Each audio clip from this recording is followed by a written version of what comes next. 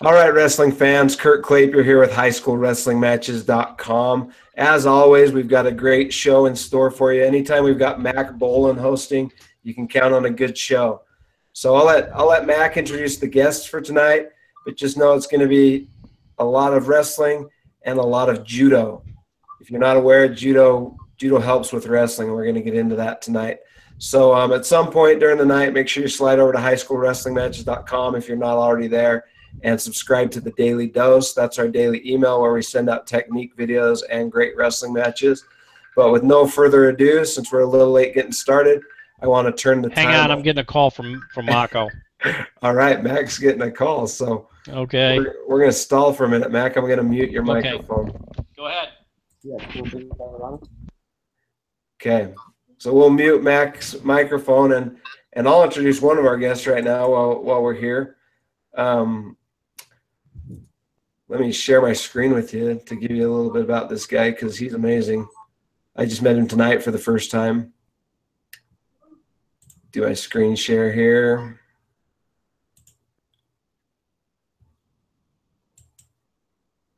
Okay. Um, so we, one of our guests tonight is Jason Morris, and, and this is him in a wrestling match. But if that move looks a little funky or a little new to you, that's because that, that's a judo move right there that he converted into a wrestling move. He'll tell you more about that story when we get into it.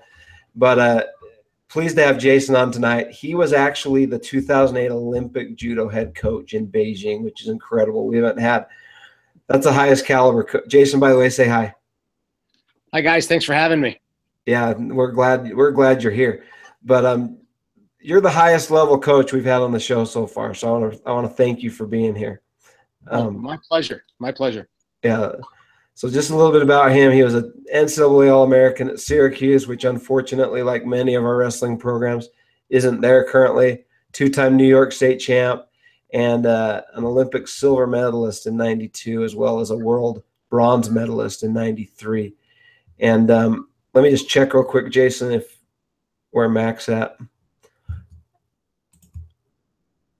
because I muted him, so he might be trying to tell us something. Okay.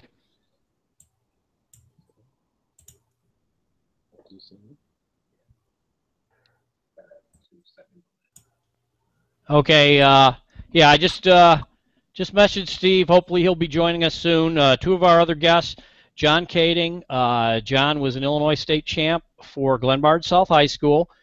Went to Oklahoma University. NCAA champ, two-time finalist. Uh, was a instructor at Overtime School of Wrestling. Head coach at Mount Carmel last year. They finished third in Class 2A. And now is the new head coach at Leyden, Steve Mocco four-time, and he's uh, hopefully going to catch up with us here soon. Four-time prep national champion, two-time Ironman champion for Blair Academy, NCAA champ for Oklahoma State University, two-time finalist, 2008 Olympian in freestyle wrestling, and uh, I believe we already covered uh, Jason here, who also had a very Go ahead. distinguished career. Hey, Two-time Mac. New York State There champ. NCAA All-American at Syracuse, World Championship bronze medalist, Olympic silver medalist in judo, four-time Olympian, and currently runs the Jason Morris Judo Center, one of the top elite judo programs in the country. Thank you, Mac. Okay, so uh, while we're waiting here for the others to get in, then Jason, I'm going to start with you. That's a that's a good choice, Mac. Yeah, since there's no one else.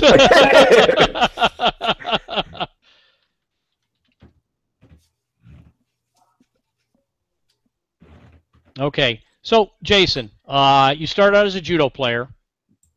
Uh, what got you into wrestling? If I remember correctly, it was uh, one of the coaches in the high school that heard that I did judo, and they didn't know what that was, but um, they got me in the wrestling room, and and I really wasn't I've wrestled uh, a little bit like freestyle when I was a little kid, Mhm. only, only to get matches because, as you know, there's not a lot of judo around. So you try to get as much grappling as, as you can. So if there's a wrestling tournament, sometimes um, you know judo coaches will will bring their their uh, kids to a wrestling tournament. So I, I wasn't completely uh, foreign to what wrestling was, um, but I had no plans or whatever to be uh, you know a wrestler. But the coach brought me in, and and uh, I had I had some fun. I figured it would be a good workout. Um, because like again, you you you lived it with your son Brad, where Sure. you know he he gets to a certain level at judo, and there's not enough partners for him. So you know the wrestling workouts filled filled a void, right? Absolutely. Well, the, the the funny, honestly, the funny thing with him is, uh, he he was a a good wrestler, but he became a better wrestler actually after he became a elite judo player with you. Oh. I mean, he he was a state qualifier, you know, and he he, he beat some good kids and that, but. You know, after he'd been practicing with you for a while, I watched him in the Oak Park Wrestling Room, and he smashed two NCAA D1 All Americans from Minnesota, and a uh, an OTC Greco-Roman guy. So you know, it, it's it's I guess training, maturity, etc. Yeah, so uh, I mean, um, judo translates really well to, uh, at least in the beginning, to folk style wrestling, and then you, you have to, you know, adapt to a lot of things, especially the no gi part, right? Well, the the, the thing in in wrestling, um, unlike judo, and one of the things like uh, we had a guy here, Max Schneider in Illinois, who never wrestled a day in his life, came in as a freshman and finished runner up in state, just based purely on athleticism, his judo background. Uh, one of the things using judo moves in wrestling, particularly folk style wrestling, not so much freestyle, is you can get called for a slam in uh, in wrestling. You know, just executing a normal judo move, you know, like a major technique. And, and speaking of that, uh, Jason, because you both as a uh, New York State champ, and then you went on to All American in the NCAA at Syracuse, you relied very heavily on on judo techniques.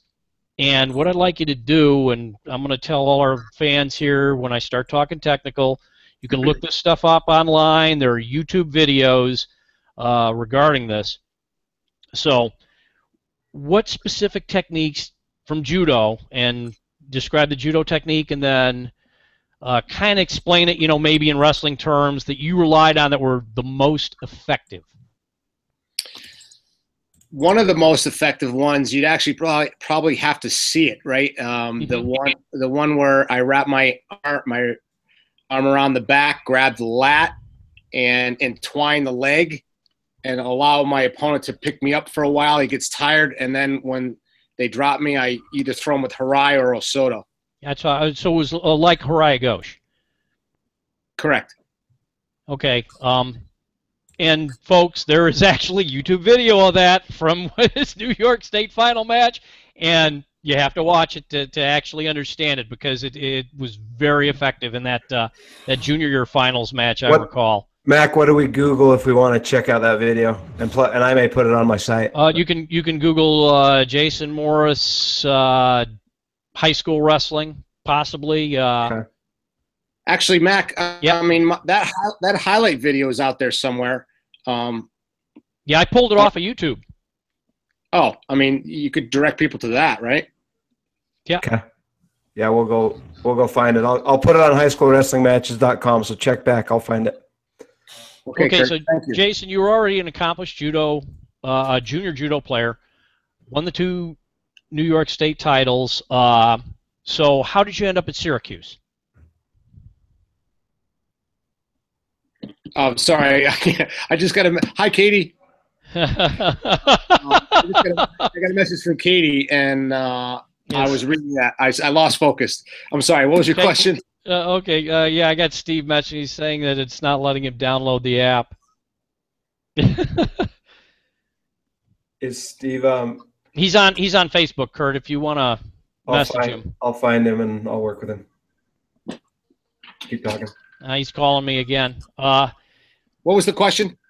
Okay, He's so I was asking- asking you, Jason, what uh, you know when you when you left high school, what, why did you choose Syracuse? Actually, it was kind of a stupid reason. Um, Yeah. I I went for the. It, it, it, it was like glamorous Click on the link. and uh,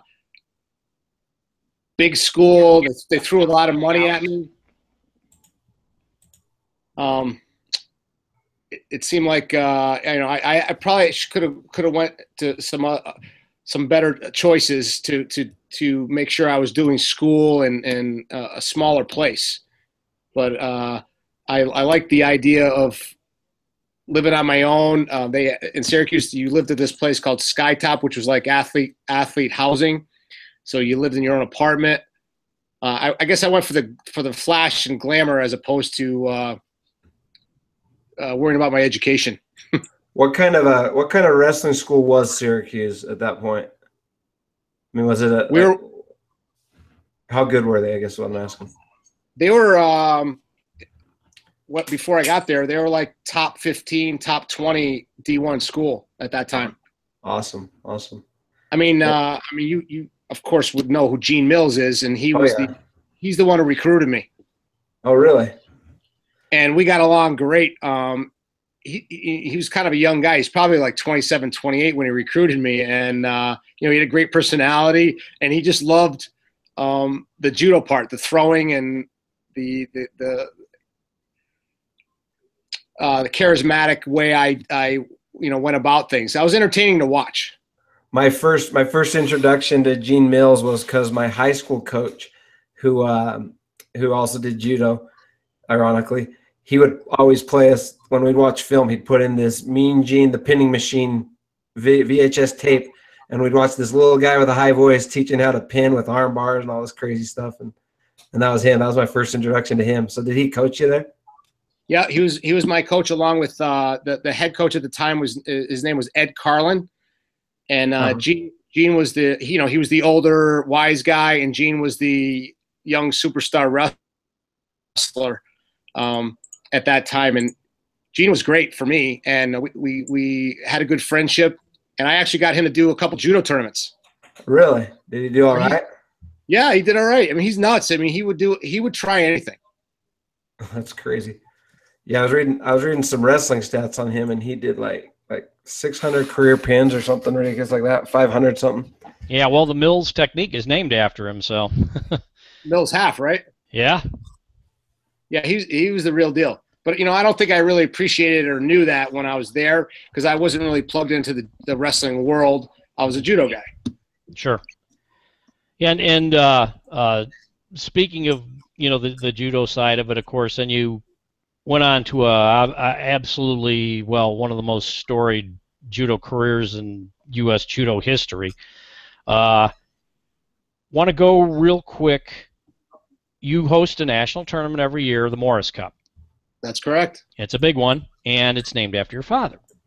That's correct. Okay, now go back to the year, to the day you won your Olympic silver medal, and share with the fans what happened. You mean uh, you know how how it went through, or uh, like boy, the whole day, including, you know, the obvious tragedy. Oh, okay. Well, um,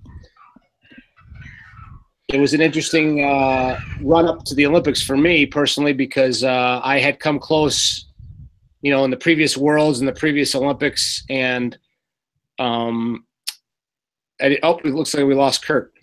It's okay. Okay. We're still broadcasting. I'm I'm here. My kids just went crazy. I just muted myself. Don't worry. okay. Sorry, this is, I'm a rookie at the podcast thing. So uh, That's all right. anyway, We're good. um, when I went to uh, Barcelona, uh, I, I just got a phone call. Yeah. Um, when I went to Barcelona, although I trained this pretty much the same, um, I didn't have a ton of expectations. I had decided I was going to enjoy the uh, the event as much as possible. Um, you know, I did my normal due diligence, but since I hadn't broken through and what we mean by that is, I mean, I've had I had some good world performances, but I didn't I didn't cash in on the on the big medal yet. I was really kind of down on the fact that I maybe that's not going to happen, and and I was you know accepting of that. I was just going to do the best I could, do my preparation, and not worry about the results. And uh, that was key for me to continue to move through the rounds and stay relaxed and perform and basically uh, I came through the rounds. I ended up losing to the Japanese fighter in the finals, um, and nine days later, as you already know, Mac, uh, yeah. My uh, I had flown home already to the this uh, Olympian luncheon at the White House. My father had remained in Barcelona, and then I got a phone call. Um, I don't re- recall how how long I was in DC, but I got a call that my father had a massive heart attack, either on his way to the opening, uh, excuse me, the closing ceremonies, or, you know, it had to be on his way, uh, from what I understand. So uh, that was the end of any kind of, you know, for me personally, uh, upside. You know, because uh, you know you lose your father, that that that's everything. That puts life in perspective. Oh, without a doubt. I mean, you know, here, here we work. Me and my dad. I felt like we worked all this time to get to this uh, point, and it wasn't wasn't obviously it's not just you. I mean, all these individual stats are nothing without your team. You know, it's it's it, you already know that Mac uh, yeah. with your son that it, it it's a huge team behind any single person or player. So, I you know, of course, felt like, oh wow, we we, we earned this. We finally we made it. We made to the hill, and now my dad can't enjoy the the uh, the other side of it. And you know what you took from this, and you moved forward and basically created one of the you know top uh, top training facilities in the country that's where that ended up. Uh, my my career lasted actually, believe it or not, another uh, eight years. Mm-hmm. Um, I was able to make two more Olympic teams, won some, won numerous international events.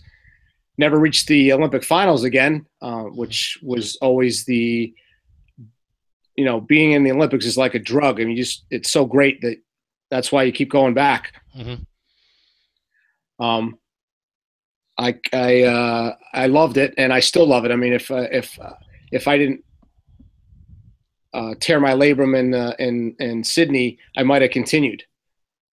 So the uh, the club thing came directly after that. Mm-hmm. As I always kind of knew that I would end up being, I wanted to stay involved in the sport, and um, the rest the rest is history, I guess. Yeah, and speaking now about the uh, Jason, you know, Morris Judo Center. Um, a lot of the current Olympians that we heard about this year, and then go back to London 2012. All these people have passed through your doors. Yes, sir. We we've been uh, part of.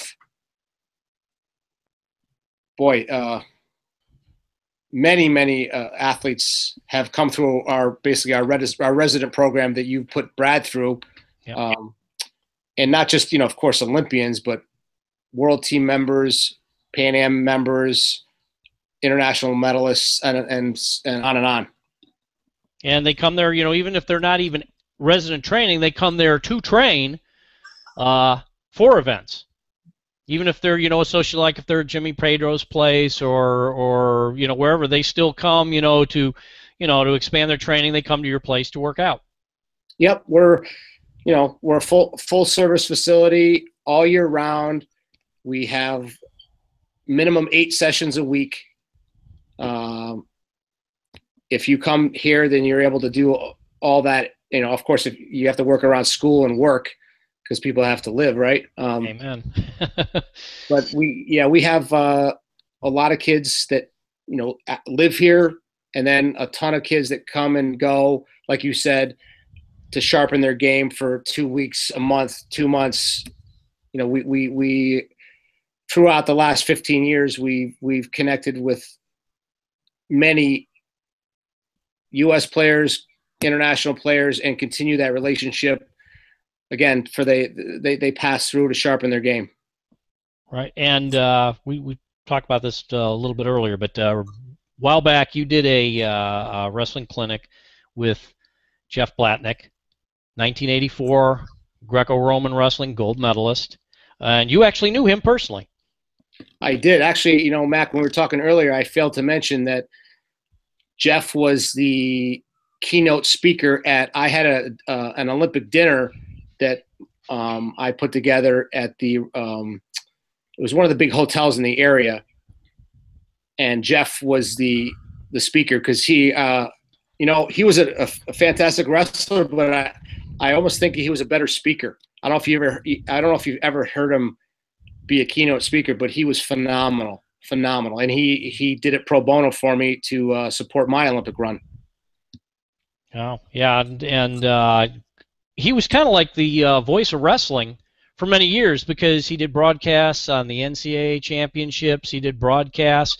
Uh, uh, speaking of voices of sports, of course, I I, I just got to mention Neil Adams, MBE, hopefully one of these days, Sir Neil Adams, uh, who who kind of is like the voice of, of, judo, and obviously a guy you know real well too. Uh, thoughts about that? Thoughts about Neil? Yeah. Oh, he's one of my he, he's he's one of my idols. And he does a great job. He does DVD stuff. Does phenomenal commentary, uh, and was was actually a pretty good uh, judo competitor in his own right. Yeah, he won two Olympic silver medals, and he was a world champion. Okay, and uh, in addition to everything we uh, mentioned internationally, you you won a Tbilisi Cup, didn't you? I did. I understand that's a, a tough wrestling tournament too, right? Yeah, it is. It is. Uh, and you know, just so people know, Tbilisi Cup in Georgia and I don't mean for geographically retarded people. That's the Republic of Georgia over in Asia, not the state of Georgia. And that's a very, very tough tournament because, you know, a lot of people go back to the years of the Soviet Union. Okay, you faced a tough guy from the USSR. And he was good, but it was just the one guy. After the breakup of the Soviet Union, the depth of wrestling talent that increased if you would speak about that. Because obviously you know you've been to all these tournaments internationally. You've been to mongolia. You've been to you know all of these places. So speak on that. How tough russia is well, all of them georgia ukraine i mean you know when, when that soviet union broke up you had all these countries with you know a lot of talent. Well before they broke up you would have to face all these guys anyways because um, they were in back in you know my day. Yeah. There was there could be four to eight russian guys in each one of the you know they call them world cups now or right. grand or grand slams now there's a you know today there's a limit at, uh, uh, how many russian guys or how many french guys can go in each event but back then there was no limit so you wouldn't get because you only get one Russian at the Worlds, but on the tour you would get all these guys, the Georgian guys, the Latvian guys, the uh, Tajikistan, all, all, of them, and uh, they're all. I mean, I, every week I was facing two or three Russians in no matter what, whether it was the French Open, German Open, you know, whatever uh, tour event was available then. Because today it's so much more so much more diverse. There's so many more tournaments in so many more, so many different countries. Yeah, and that uh, um, speaking on the uh, the changes of the Olympic qualification. You know, 2008 was kind of the last formal Olympic trials we had. You know, the, the one match we had in 2012, but. Pro or con, you know, your feelings on the changes from the old system now to the new way they qualify Olympians?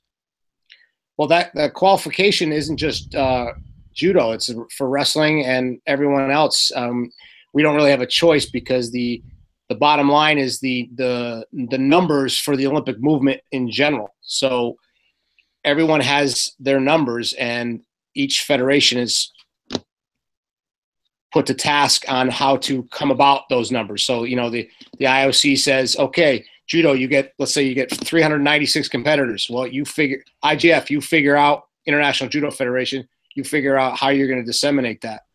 Um, I mean, do I like it? I mean, that means that that it's a little tougher. You don't get as many. Um, obviously, we don't. We sent six players yeah. out of 14. Out of 14.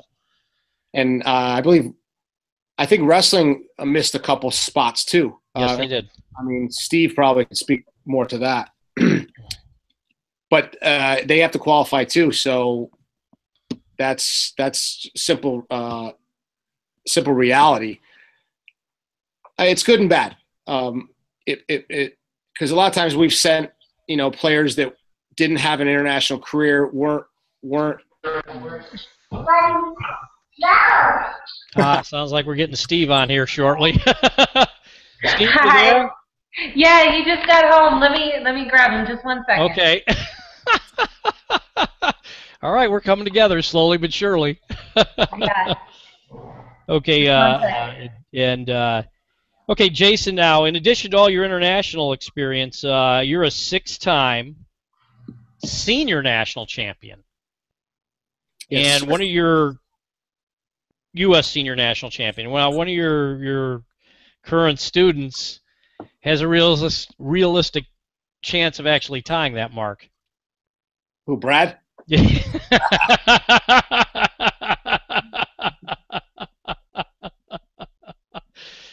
uh, well, that's that's a goal. I mean, you want your absolutely you want your students to be uh, to to beat your quote unquote records, whatever you got. Absolutely. And Brad's got four now, right? He's got four. Six-time finalist, four-time champ. And uh, why he's got th- for sure three more to the to uh, Tokyo, right? So he, he could pass me. You never know. okay, and uh, real quick on the rule changes in uh, in, in, judo as well, because uh, over the past ten, maybe fifteen years, it's undergone some. Some of the people listening probably aren't going to understand like the change, you know, from the scoring and then this year, I guess the change in the golden in the golden score in wrestling that would be overtime. Um, if you would just you know kind of talk a little bit about that. Well, the biggest change in the last quad was not being able to grab the legs. Now, I'm not a huge fan of that because it takes away a lot of really dynamic, big time like throws, like Sode. Like, I mean, you, have seen. The, oh yeah, Sode and the the Teguruma, etc. Yep. Um, but uh, you know, the, the, the I, I believe their guys were, were kind of you know looking more like wrestlers. And if we, I mean, if rest, if you have two sports that look like wrestling, why do you need judo? So right. I mean, wrestling would be more of a of a. Hey, Steve. Hey, what's up, man? Hey, there we go. We got How's Steve on here. Okay, Steve. All yeah. right since I got you on here now, I'm going to go to you real quick. Yeah. Okay. Uh, first of all, talk about your association with both sports, going back even before you were in high school. Uh, yeah, I started uh, wrestling and judo kind of similar times, maybe like a couple years, but but pretty much the same time, around like seven or eight. And uh, I did did them both together probably till I was like 15 or 16. Then I focused more on wrestling, you know. Okay, where did you start training at? I started training uh, at uh, Fairlawn uh, rec program, and then I went to a lot of clubs in Jersey, like the Edge, uh, Team Hammer, different places like that. And in judo was uh, APA judo with uh, Clyde Worthen, and then also like later on as I got older, I went to uh, Cranford judo with uh, Sensei Yanuska. Okay, now, going to your high school portion, you were a four-time prep school national champion, a two-time Ironman champion with Blair Academy, and for for people who don't understand the difference, let me explain real quick. Okay, a, a five-year prep school like Blair Academy uh, is a, a they don't compete in the local state championships. Uh, you have public schools, you have private schools that are four year.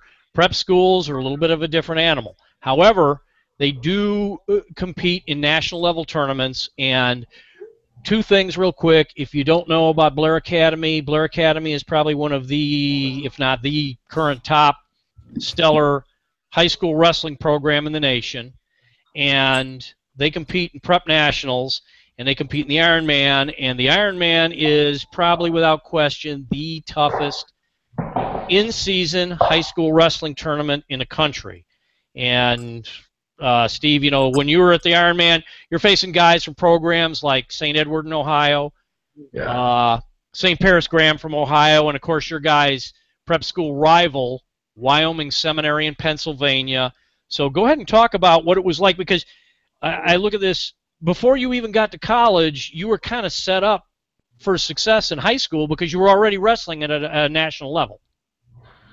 Yeah, I uh, I spent a lot of time there. Uh, my junior and senior year at Blair, their schedule was very good. Uh, you know, like the culture changes. Uh, different schools come and go, but them, St. Ed's, uh, Graham, a lot of those schools in uh, the Lehigh Valley, they they always just seem to kind of either get better or they definitely don't get any worse. You know what I mean? So uh, being part of those kind of programs, you know, and and competing with other programs like that was was was, uh, was awesome. You know, and uh, you know, uh, the school I went to before Blair was also in the preps, but you know, the schedule was a bit different. It was uh, St. Benedict. Saint, Saint Benedictine. Yeah, yeah, yeah. So, so I mean, going from, um, I bet, I guess, like a, a decent uh, wrestling schedule to like a national mm-hmm. powerhouse wrestling schedule was was a huge thing for me in my competitive career. And uh, you know, wrestling, like you said, at Ironman and those tournaments were was, was huge. Yeah, and I mean, uh, you winning an Ironman championship, uh, you you've got a lot of times state placers and state champs who don't even even place in that tournament. I mean, it's uh, it's brutal. And anybody listening tonight who's a wrestling fan, if you've never seen the Ironman, I've been there the last few years. Uh, Parker Forest High School's been in the national, you know, mix lately, and it's it's incredible. Uh, now you went to the NCAA's, you were an NCAA champ but you didn't start at Oklahoma State University. Yeah, yeah, I, wrestled at Iowa for my first two years, and uh, then I transferred to Oklahoma State. Good. Why did you transfer? Man, it, it's a long story. Uh, That's all right. You don't have to go into details. I uh, I tried out for the Olympic team uh, in 2004. Uh, there was three Olympians from Oklahoma State there. Uh, I took third in the trials, and I you know I wanted to put myself in a position to make the 2008 team long, long story short, you know, there's a lot of other things that happened. But. Sure, sure, I understood. And then you uh, went on. You were a two-time finalist and a NCAA champ at Oklahoma State University. Uh, and then, of course, uh, 2008 Olympic trials, um, won, and you went to Beijing to represent the U.S. as a freestyle wrestler. And at the same time, at the 2008 Olympic trials, your sister, yeah. Katie, was also at the 2008 Olympic trials, only competing in uh, judo. Yeah. And she's actually very, you know, other than having the looks of a supermodel, she's actually a very, very accomplished judo player. You don't and, think we look alike? Uh, no comment. All I'm right. just wondering if she picked on you when you were a kid, you know, because she's she's got a little bit of a mean streak in her. Tough. and uh, and and Jason, going back to you, the Vanilla Gorilla, which I believe was was Katie's nickname, she trained at your place. Well, she started in Jersey with uh, I I believe it was Clyde, right, Steve? Yeah. Oh wow. Who's that guy? This is Anna. She want to say hi. Oh hi Anna. Okay, hi Anna. She looks yeah, like yeah. We both started with Clyde at APA. Okay. So she was with Clyde uh, Worthen at, at and uh, I think it was is that North Bergen? Yeah, yeah, yeah, yeah. North Bergen, Jersey, with uh, Clyde Worthen and Katie wanted to make a run at the Olympics and came here and made it to the trials. And unfortunately, she didn't. Well, it would have been tough in the end because she would have ended up having uh, the way it worked out because of the qualification. Ronda Rousey dropped down a weight, and um, Katie would have would have had to square off against her, but she didn't make it to her, unfortunately. Mm-hmm. So, uh, but you know, Katie was Katie was a beast when she was fighting, um, well, she's tough. She was a gamer. And uh, Steve, I said this earlier to to Mack. It wasn't hard. it, wasn't, it wasn't hard to get guys in my dojo when she was around. Oh uh, yeah. Yeah, she always she always always, uh, she always talks about how the training was uh, was uh, real intense and uh, definitely coming there. She committed to training full time and, and changed her life to training for judo. Very impressive coach. Uh, it was it was great to have her here. I mean, uh, I mean your family. I, I the, the, the the small time I got to meet your dad and hang out with them was uh, you know it was a pleasure. All right, on. See, and that's that's the thing. One of the reasons why we're doing this podcast tonight because the the wrestling and judo lines and paths and associations cross constantly and all over the country here, and both sports actually uh, complement each other. And you know, Steve, one of you know, you go ahead and describe some of the judo techniques you actually use successfully in wrestling. Yeah, you know, I, I made a I made a living uh, with trips. Uh, Mhm. I, I hit him at every level from uh, you know midget through through the Olympics. I hit a couple times in the Olympics, NCAA finals, national prep finals, uh, Ironman, all those, and uh, it definitely was an ace up my sleeve that that judo uh, gave me. You know that that that feel with my hips, and and honestly, like my foot sweep was offense, but also also defensively being able to redirect driving leg attacks with my hips, uh, I think was uh, a big proponent. I wasn't like the biggest, strongest, fastest uh, heavyweight out there, you know, for sure. You know, I don't know. You were pretty strong, dude. Yeah, yeah, and, strong. and I was actually pretty athletic too, I would say. You know, when I eh, speaking since you mentioned heavyweight division, and I want to tell our listeners here, if you've seen high school heavyweights wrestle, you cannot compare them to heavyweights at the NCAA level because all those football players are gone. You've got guys who aren't just big and strong; they are athletic. And I watched you wrestle quite a bit, Steve. And you know, I mean, you watch, and and it's deep. The heavyweight division is deep. You look at, at the Big 12, you look at the Big 10, and it's deep. I mean, there's a lot of talent i- i- in the heavyweight division. And you Oh, used yeah. foot sweeps. You used a very excellent inside leg trip, which is very similar to a judo move. Um, yeah. Now, Steve, wait, let me j- jump in there, Mack. Yeah. Every time, uh, uh, you know, because I was aware of Steve through Katie, sure. and you get to watch the Steve on TV, you know, at the NCAAs and whatnot, and you'd think after all these years that some of those commentators would pick up on the word judo and what you guys are doing, but they never No. call it a foot sweep. They always call it something weird, and then and then they're always clueless as to what was going on. You're, and every judo player is always yelling, "No, that's Ko Uchigari," or "That's yeah. yeah, yeah. Yeah. Yeah, that's, Yeah, that- people that's all the time. They, the craziest names you could think of, they come up with like Wing Ding, uh, Yeah. Barnyard. Yeah. Barnyard. Oh, yeah, I love that one. It's, I'm Oh. sorry to interrupt, Mack, but Yeah, Steve, go, go ahead. Go ahead. you teach judo and the throwing and your MMA stuff now. Yeah, yeah, yeah. I'm, I'm training uh, guys for American Top Team. I retired. I'm not competing. Uh, I'm just full time. Uh, uh, I'm a wrestling coach for MMA. You know, and uh, But do you now. do you incorporate all you know, basically all of it, the judo, Yeah. wrestling, whatever you know? absolutely. Yeah, absolutely. You know, Yeah, it all actually, uh, comes together. Uh, uh, yeah, Steve, speak on that. Now, you're you're currently running Mocco Wrestling Academy. You're at American Top Team in Coconut Creek, Florida. Yeah. So, what is Yeah. your your program geared kids, juniors, seniors? What what what what's your target? Um, well, like I started a kids wrestling club uh, for high school and youth. Most of my day is with uh, the pro fighting team. Uh, Thursday and Sunday nights, I run like a kids uh, and high school workouts at the gym, and uh, we do summer camps and that. So uh, you know, like we're building up the, the the feeder programs to it. Most of my days with the the pro fighting team Mhm. and uh, put kind of trying to put it together. You know, outside of stand up. You know, judo, jiu-jitsu, wrestling, uh, grappling, uh, and uh, I, I, you know, our, there's a big need for it in Florida, and uh, our club's kind of like just starting. We started last November.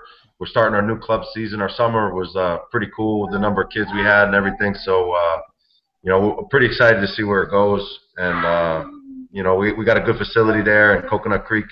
Mhm. Uh, lot of lot of uh, great examples that train here full time uh, on the professional fight team. Ex wrestlers, uh, ex judokas. Uh, you know, from every I guess from every every discipline, they're, they're down here. me So. you, how did you end up in Florida? It, it's a, it, that's good, man. It's a good question because like a lot of people ask me all the time. I was coaching at uh, Lehigh, and uh, I was uh, thinking about fighting, and I needed partners. I just came back out of retirement for wrestling, so I met some MMA fighters that were affiliates with the American Top Team, and then uh, they brought me down to work with uh, Bigfoot for his fight with Cain, and then a couple other heavyweights who were fighting wrestlers. And I kind of hit it off with the guys down here, and then I was like, you know, I can't really coach, and uh, you know, I can't coach D1 wrestling and fight. I got to pick one or the other. Uh, I was a little bit old, but I wanted to give it all I had, and uh, that's why I moved down to become a full-time fighter down here at ATT. Okay. Uh, I always wondered yeah, that. I figured, and uh, I, then I, I kind of went into coaching. I figured you'd end up in uh, back in Jersey.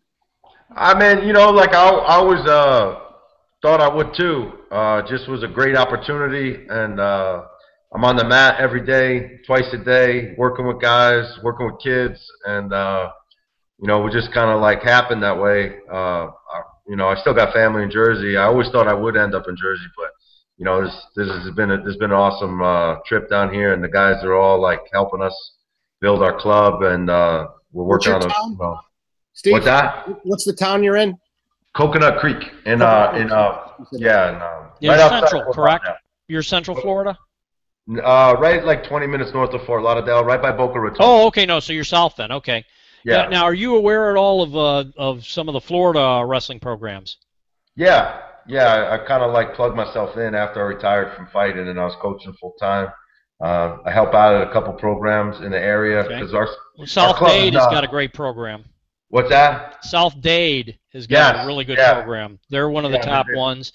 You know, it used to be program. when you thought Florida wrestling. You know, we talked about Brandon and now there's the emergence of Lake Highland Prep, and that's yeah. not a five-year prep; that's a four-year, uh, which is actually coached by a former Illinois wrestler from Glenbard North, Mike Palazzo, and yeah. they're on the national scene now.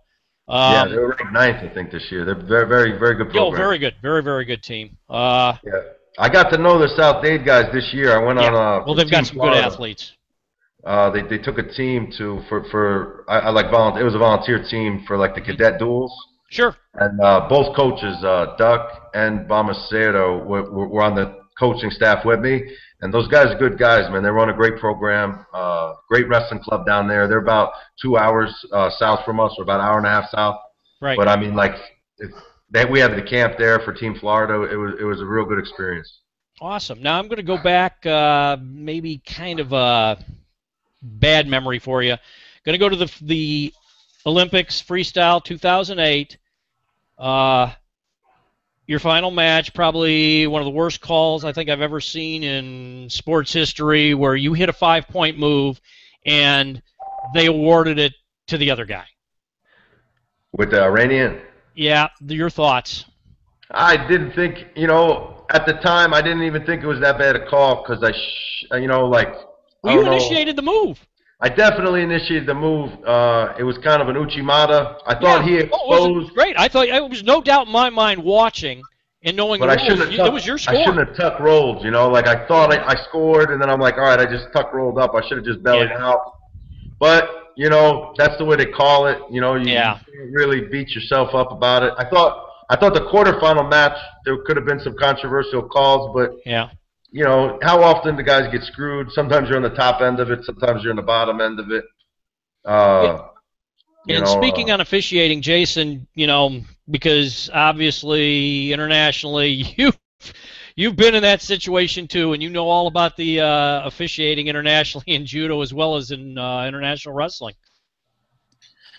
Well, Steve hit it right on the head. I mean, you know, if you look at your if you look at the body of work, um, sometimes you get some great calls, and sometimes you you feel like you uh, you're on the other side of it. But uh, you know, you got to look at the fact that Steve was at the Olympics. You know, I, I was at the Olympics. It, it, we all want to be on the top of that podium, but it, can't can't always be. Um, but it's an honor and a privilege privilege to to fight for your country and uh, and compete at that level. Yeah. Now, Travis Stevens this year, you know, won, won a silver medal. But I want to go back to 2012 and specifically what you just said regarding the Ole Bischof and Stevens match in London. Again, you know, I mean that call, that match goes, you know, a different way. Uh, but if Travis is in the finals, um, last time, who knows where he is today. So, uh, and if it, actually, uh, if if you look at his matches, um, uh, you know, he was fortunate on some calls, and that's what it takes. Sometimes it's better to be lucky than good. Amen. Okay, uh, Steve. Now uh, again, you're uh, when you were like getting into wrestling. Yeah. Okay, and you came up through high school, college. Was there anybody maybe that you looked at as a figure that you wanted to emulate? Not you know, I'm not talking about family here, father or anything, but any wrestler that you saw out there, you said, "Hey, I want to be like that guy," or "I, I could be better than this guy." In wrestling. Yeah, yeah, there was a bunch of them. Uh, you know, like uh, like I said, I'm I went to Iowa. I thought it was a I thought it was a uh, a good place for my style. I wasn't necessarily an Iowa wrestling fan. I was from New Jersey, but I definitely was a Tom and Terry Brands wrestling fan. Okay, you know, yeah, I watched them family. individually, uh, watched them internationally, and uh, I thought what they brought to their weight classes is was definitely something I looked forward to. And also uh, Dave Schultz, you know. Uh, Oh, yeah. uh, just because you know who he he was, who he was. You know, I was lucky enough to meet him and uh, spend some time with him. Uh, and in that time, even as short as it was, rubbed off on me, and uh, he was someone I always looked looked up to and thought like if you could put your mark and you know bring that kind of ambassadorship to the sport, it's so huge. So the two in in different respects, like Dave because he was so open and and, and awesome, and, and Tom and Terry Brands for what they brought, like the ferocity to their weights internationally and nationally. So I mean, those were kind of like my role models, definitely when I was in high school and and after high school. Okay, and Jason, same for you, other than your father, obviously. Uh, any judo legend like uh, Jim Bregman or Ben Campbell, anybody that you looked at? Absolutely. But before that, I wanted to ask Steve. Before I forget, Okay, I wanted to ask Steve uh, who recruited you to Iowa. Uh, Tom Brands did. Uh, he came to Blair, uh, went to official visit there, uh, left, wrestled in the All Star meet in Cedar Rapids, left, and then I watched the NCAA tournament there, and I was sold, man. I went there three different times that year, and that was it. I was going to Iowa. There wasn't a school in the universe I would have went to. Oh, so there was no one at that time. There was no one else in play for you. What's that? At that time, there was no one else in play for you. Yo, no, no, there was. Like I, I went to my official visit in, in Iowa City, and then I went to Oklahoma State, and I kind of thought I was going to go to Oklahoma State after my official visits, but then I wrestled in the All Star meet there. The people were really cool. I got it was like another visit, and then NCAA's was there. I went and watched it, and I watched uh, Mike Zadick wrestle Reggie Wright, uh, and uh, the way the match went down, like I think Reggie had a big lead on him. Mike chip, chipping away, chipping away, and then the then the floor broke up, broke through on him, and, and Reggie went down, and uh, the place went crazy. And that's when I made my mind up. I turned right to my brother Joe. I said, uh, "I'll be here next year wrestling D1." Awesome. Um, uh, going back to the Yeah. your, question, your question, Mack. Yeah. Growing up in the in the U.S., um, I looked up to a, a guy named Mike Swain. He was, Ah. uh, he was uh, the guy before me, basically. Who was, he's he's a Jersey guy too. Um, really, I didn't know that. Jersey guy too. Awesome. Yep. He, I think Elizabeth, New Jersey, is where he's from, and he uh, his main dojo was Cranford with Yanni, uh, which uh, Steve knows very well. Yeah, And uh, Swain was one of my uh, you know idols growing up, and then internationally it was it was we who we spoke about earlier is Neil Adams, who, Yeah. uh, who was at the time was he was in my weight class, and he was a two-time Olympic silver medalist, world champion.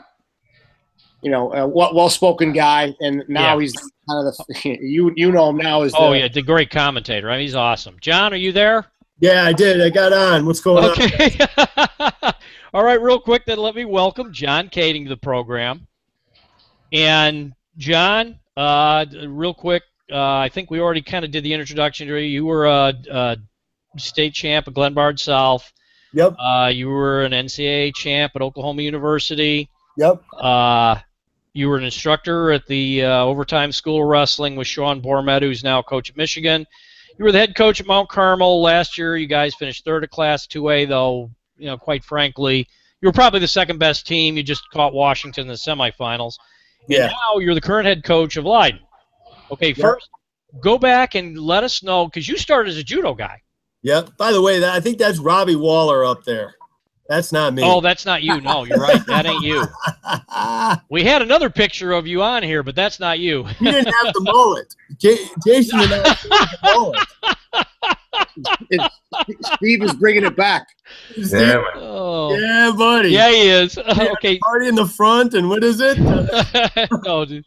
Business in the front, party in the rear. There we go. There we go. We recorded it. Okay, well, John right now is actually rocking the bald head, but that's another story. So, John, real quick, talk about your early days as a judo player. Uh, well, I was saying earlier, it was kind of the foundation to my wrestling, and really, Mm-hmm. I had no intention of wrestling whatsoever. I lost a football bet my freshman year.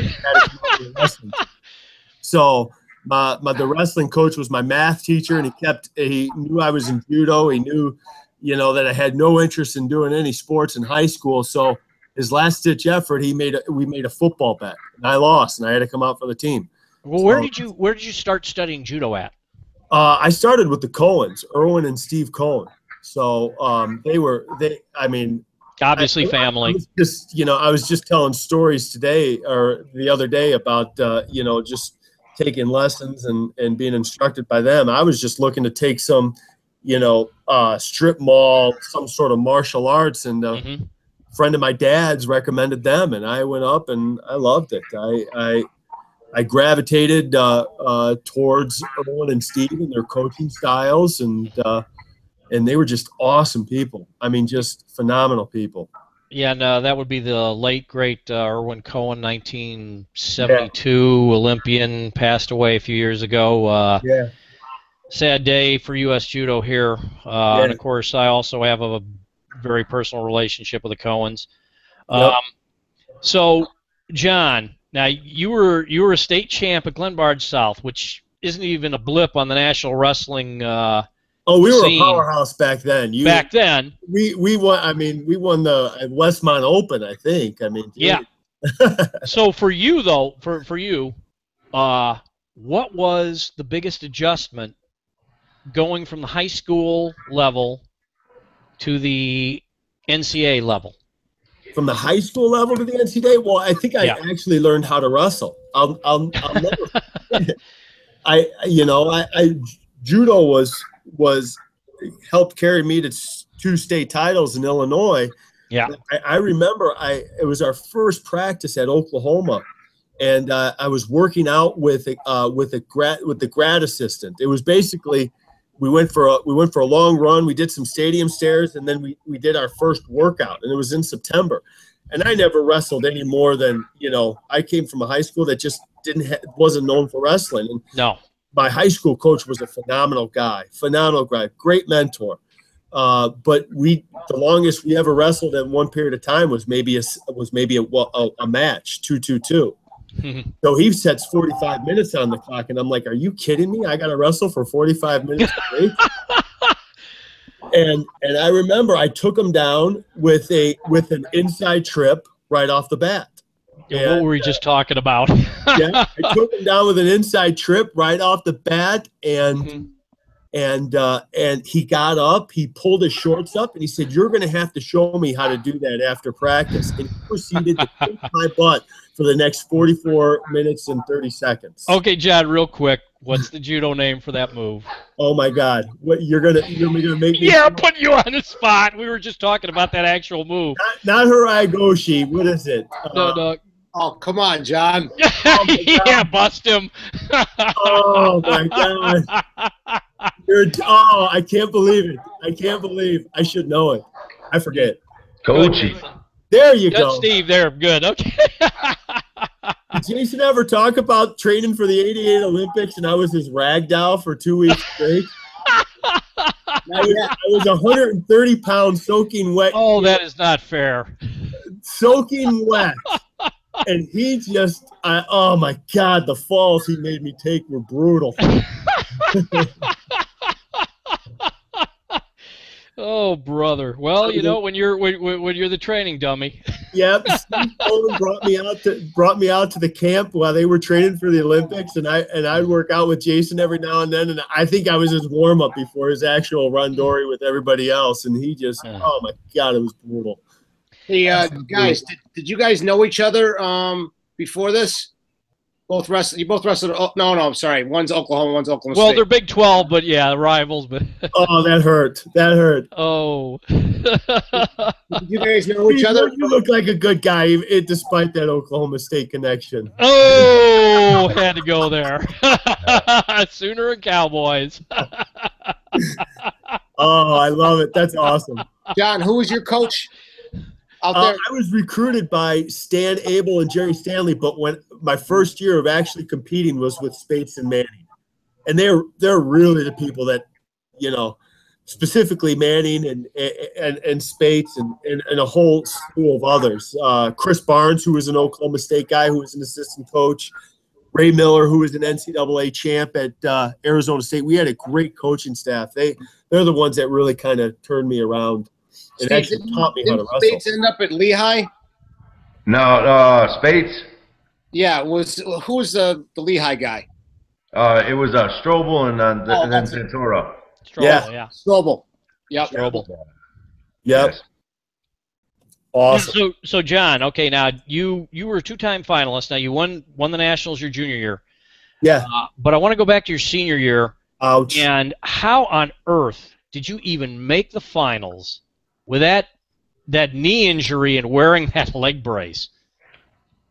You know, it's it, it's funny. We it's it's something you know. I don't like I don't like to make excuses for. I took Sure. and, and and it is what it is. I I I you know, there's a lot of things I should have, could have, and would have done differently, but it, it is what it is. Credit to uh, Full Heart for for the win. Um, you know, it, it, I I had tore it actually in the dual meet against Oklahoma State. I was Ah, uh, damn I was Cowboys. For uh, I cut the guy. I was going for a technical fall, and I hit a double leg, and it and it blew on me. Oh my gosh! And uh, I didn't know what it was at the time. I thought it was a tight hamstring. So I got up, I finished the match, and I remember driving off for one more double and being like, "That doesn't feel right." And uh, they, I went in the next day, and uh, Dr. Hines, great doctor out of uh, out of University of Oklahoma, um, and that's actually one of the I think national team doctors. uh, he diagnosed me with a torn ACL. Wow. And uh, I was supposed to wait for the brace to come in, but again, I, I things I would do different. I didn't, and I went to practice that next day. Uh, right after being diagnosed, I went to practice, and we were doing lift and returns. And my and my partner didn't lift and return me correctly, so I tried to post on my leg and make him do it again. Oh, I posted on the leg that was torn, and basically uh-huh. just absolutely obliterated my meniscus. So, and then tore my MCL along with that. with your ACL. Yeah, yeah. Well, like I said, and, and again, I, as I've mentioned before, for our listeners, if you go on YouTube, all three of these guys have videos all over YouTube. I mean, literally. And and John, I actually watched your senior, both your junior and senior final match. Your senior final match, like I said before, good lord, I don't know how you even stood on that leg, let alone wrestled in the finals. I mean, that's that's. Yeah, I- it was, it was it was it was we were I was getting it drained after every round. It would it would fill up with with blood and and I'd have to get it drained and and uh, get it taken care of before the next round. So, you know, you did what you did to have to compete at, the, at what at that time was the highest level. So, Amen to that. Okay, so uh, how did you end up at the uh, Overtime School Wrestling in Naperville, Illinois? Um, did Sean, Sean Bormet contact you? How'd you end up there? yeah, I actually I was coaching at Northern Illinois for for the year, and I saw Sean at the Midlands, and he said, "Hey, I'm start. I, I have this club going, and we're moving, and I'm moving from my Tinley Park location out to Naperville. Do you want to stop by?" And I said, "Sure." So I went and did a I did a clinic with him over there, and and loved it. And uh, you know, we ended up I ended up coaching there for the next eight years. Which uh, Overtime School Wrestling was, you know, phenomenal. Uh, wrestling club produced numerous Illinois state champs and NCAA wrestlers. yeah, And how did you get the Mount Carmel job? I end up uh, I have my master's in special education, and uh, I have also four children.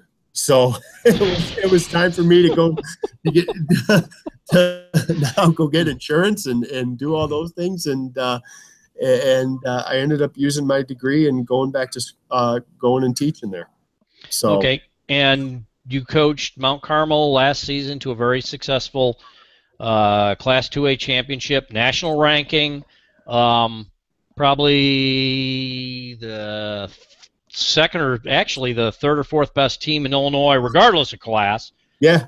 Okay, but now you're at Leyden. Yeah. And now I, I have to believe Randy Conrad had something to do with this. Randy did. Randy did. He, he texted me, and uh, I wasn't looking to leave Carmel. I mean, I, I really wasn't. I understand. I, I had I had uh, I had people that uh, you know had floated some things out there, and and you know, and and and that you know may have sparked my interest for a second. But I, I loved Mount Carmel. Mount Carmel's a great place. Oh yeah, great institution, and and part of the Chicago Catholic League, which after the addition of Montini and Marmion Academy, probably the toughest single public school conference in the country. Yeah. I mean, you've got four nationally ranked teams in, in one conference in one state. Yeah. You know, and, and it, it, it was just a great place to be. But, you know, at the end of the day, uh, you know, I, I um, you know, this was, this was an opportunity where I could grow professionally, you know, um, a position here, you know, in, in the classroom and, and, and a head coach at a at what once was a traditional powerhouse, and then oh, also, yeah. uh, I'm you know I'm the assistant athletic director, so I, I, got an opportunity to grow professionally, and I just I oh, so they gave you an assistant AD job in in yep along with the head. Oh, wow, okay, yeah, and and just for people who don't know, uh, let me go back real quick. Uh, Randy Conrad, who is the athletic director. Uh, East Leyden, the old East Leyden team in Illinois, under legendary coach Chuck Farina.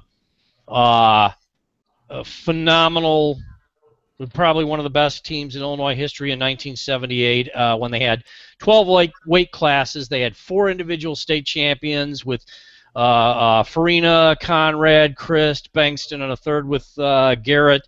Uh, set a record until Oak Park River Forest broke it uh, a couple years ago. And I know Randy Conrad, being a member of that team and the Chuck Farina days, probably specifically targeted you. I mean, I, I, I did no doubt in my mind there. And that team, had there been a dual state championship back in the 60s or 70s, probably would have won anywhere from 11 to 12 state championships. They were that good back yeah, back they, in the day, you know, of, of 12 weight classes. They were awesome. Yeah, they, they were amazing. So, uh, uh, who, other than your father, obviously, and I met him, great guy. Was there anybody when you were coming up uh, that was like uh, someone you wanted to emulate? Uh, somebody you looked at and said, in, in wrestling, you know that's the guy I want to model myself after, or that's the that's my the guy I want to be, or or be able to beat, or I can be that good. Yeah, I you know, I, gosh, that's such a tough question. you walked up those stairs, you know, every day at the University of Oklahoma, where where we had our you know, I left and they had they they are now on their second brand new room. I worked out in the old on the side of the building, 90, 90 degrees every day in the wrestling room with pillars down the middle. You know, eh, so I was in their old wrestling room and never got to have a taste of their one of their two new ones that they have. But uh, the tradition that went through there, there were so many great wrestlers. I mean, Dave Schultz practiced on those same mats, and I mean, Dave has to be one of the most intelligent you know wrestlers of the time. He may not have the accolades as some of you know these other great ones, but man, was he he was just a master technician and so humble and, and always wanting to learn. So it was easy to pick a guy at Oklahoma to try to emulate. But I got to be honest, I, I it was it was my high school wrestling coach that ultimately I want you know I'm I'm teaching math you know and, and coaching wrestling and and doing what he he did and and try to do the same things he did for me, you know, for other kids. So you know, I I think that that's just you know outside of wrestling that that'd probably be the guy. Okay, I'm going to go back to Steve here. Uh, Steve. Yeah. Okay. I talked earlier uh, with Jason about the rule changes in judo. Rule changes in freestyle wrestling. Uh, the push out, and then the most recent thing, uh, the shot clock. I am totally not a fan. Your your thoughts? I mean, I, I think they made a lot of good rule rule changes, uh, eliminating the, the two out of three, the, the two minute periods, right, Sure. and uh, make it run and score. I think that, that that's great in a six minute match. Uh, you know, the shot clocks. Uh, you know, like yeah, I, think I think it's a little bit a lot of you know they give a, they give official a lot of control with that, and uh, Which I hate. yeah, you know, it, it is, you know, uh, but you know, there's not much you could do about it. You just got to like prepare and uh, wrestle the Yeah, but. I mean, do you feel it's hurting the sport? I, I, I feel it. I mean, I, I feel for for us, it's, it's definitely limited, eliminating, uh, limiting us. You know, uh, you know, our style's always been like come forward and uh, take them to deep water. You know, I think them getting off a two minute period to a running score on a six minute match is great for us. I thought that was good. But like you said, the shot clock. Yeah, if I had to pick, I wouldn't want a shot clock. I would want uh, for an American wrestler to square up, and the first person who scores or pushes out wins the match. Like cut the clock off. You know what I mean? Uh, So But, you're, you know- you like the push out rule? No, I'm I'm just saying the first offensive point would score. Yeah. You know, and, and and and take the clock out of it, but that's not realistic either. So I mean. They'll come up with stuff that we like and we don't like. We just got to prepare and, and, and advance. You know, I think the guys are doing a good job of it at the senior level, the coaching they have with USA Wrestling and uh, preparing them. I'd like to see Force Parterre again. I think Force Parterre. Yes, I agree. Oh, I agree with you there. Better, much better than the than the 30 sec. I thought the 30 second shot clock killed wrestling in the Olympics, and I watched a lot of the matches. In fact, and I'm going to speak on this a little bit later about the Olympics in general, but uh, I, I thought it was horrible. I thought the Yeah. first parterre was a much much better system.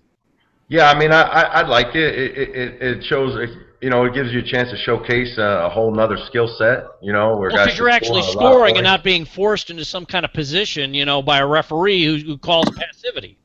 Yeah, no, I'm not. I'm definitely not a huge fan of the shot clock. Uh, like I said, it, it doesn't. I don't feel it favors an American style. Uh, but you know, you know that, that's it. That's about it. Yeah. You know what I mean? What, what we're gonna say? I hear you. And Jason, uh, the change uh, personally, which I, I liked, and I want your comment on this on the changes in the golden score.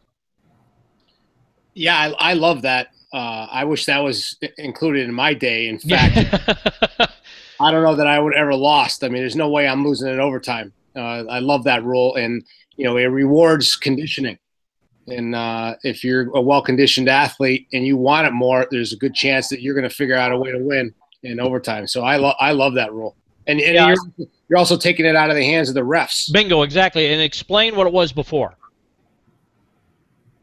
You know, before when you know you went into golden score and at the end. Go ahead. Yeah, it was the it was the worst. It's it's a referee's decision. The the three referees on the mat basically decide who they thought was uh, you know who they thought won, and and right, each, by raising the flags. yep, And the two mat judges would raise the flags first, and then the referee would look at the two of them, and then he would weigh in. Well, the, the the center ref looks at the two guys on the side. If they both have the same flag, well, it he has matter.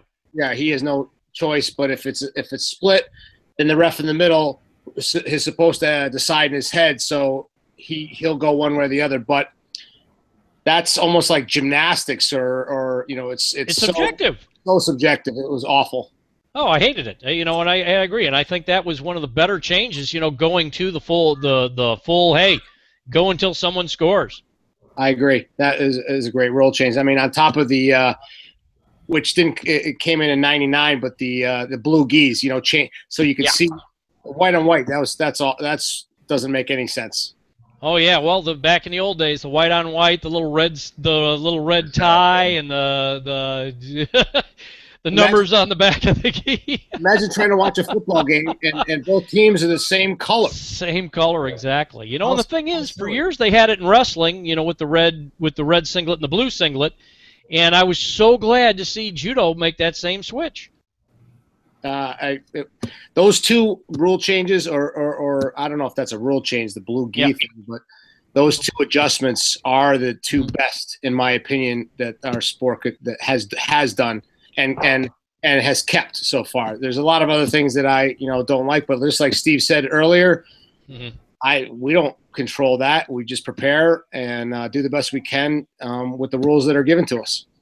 Yeah, and I have to say, you know, going back to the wrestling, uh, after watching the involvement of both Greco-Roman and freestyle wrestling in the last Olympics, I'm actually becoming more and more of a fan of folk style wrestling the way it is at the NCAA level. It was really exciting this year. Oh, it was great. It's awesome. I don't know, Steve, but every time I watch wrestling, I go, "Oh man, this guy could have done a Osoto. This guy could." Yeah. Me too. Me too. All these, all these kids could so use judo. I mean, there's so many opportunities. Uh, there was one kid in, in particular. He was long, thin. He was very flexible, very athletic, blonde, kind of floppy hair. I think he was from Penn State. Um, Bo, Bo, Bo, Nickal. No, that's Texas. Yeah, Bo, oh. Bo Nickal, a Texas yeah. kid, but yeah, from from uh, Penn State. Well, that kid, that if I'm thinking of the right kid, that kid. You are. He he, uh, uh, Harai goshi, Kouchi Ouchi foot sweeps for that kid. Uh, I mean, he would have won easy.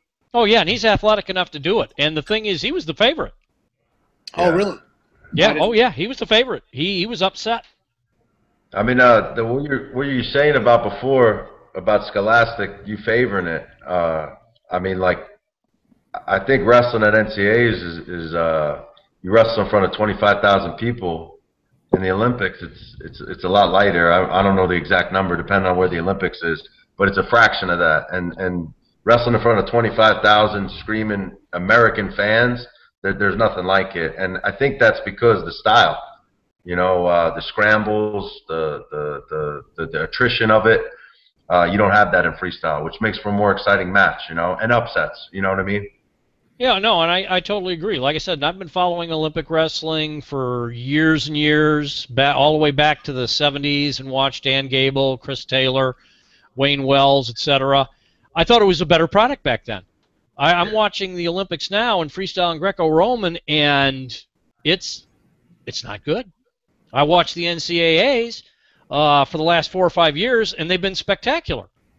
You know, yeah. uh, uh, I mean, there, you and not just you know semifinal matches, the final matches where there's actually action, and the referees. I mean, occasionally you get a little bit of bad officiating, but I'm going to tell you here at the NCAAs, it's nowhere near as bad as what I have seen on the international level in both wrestling and judo.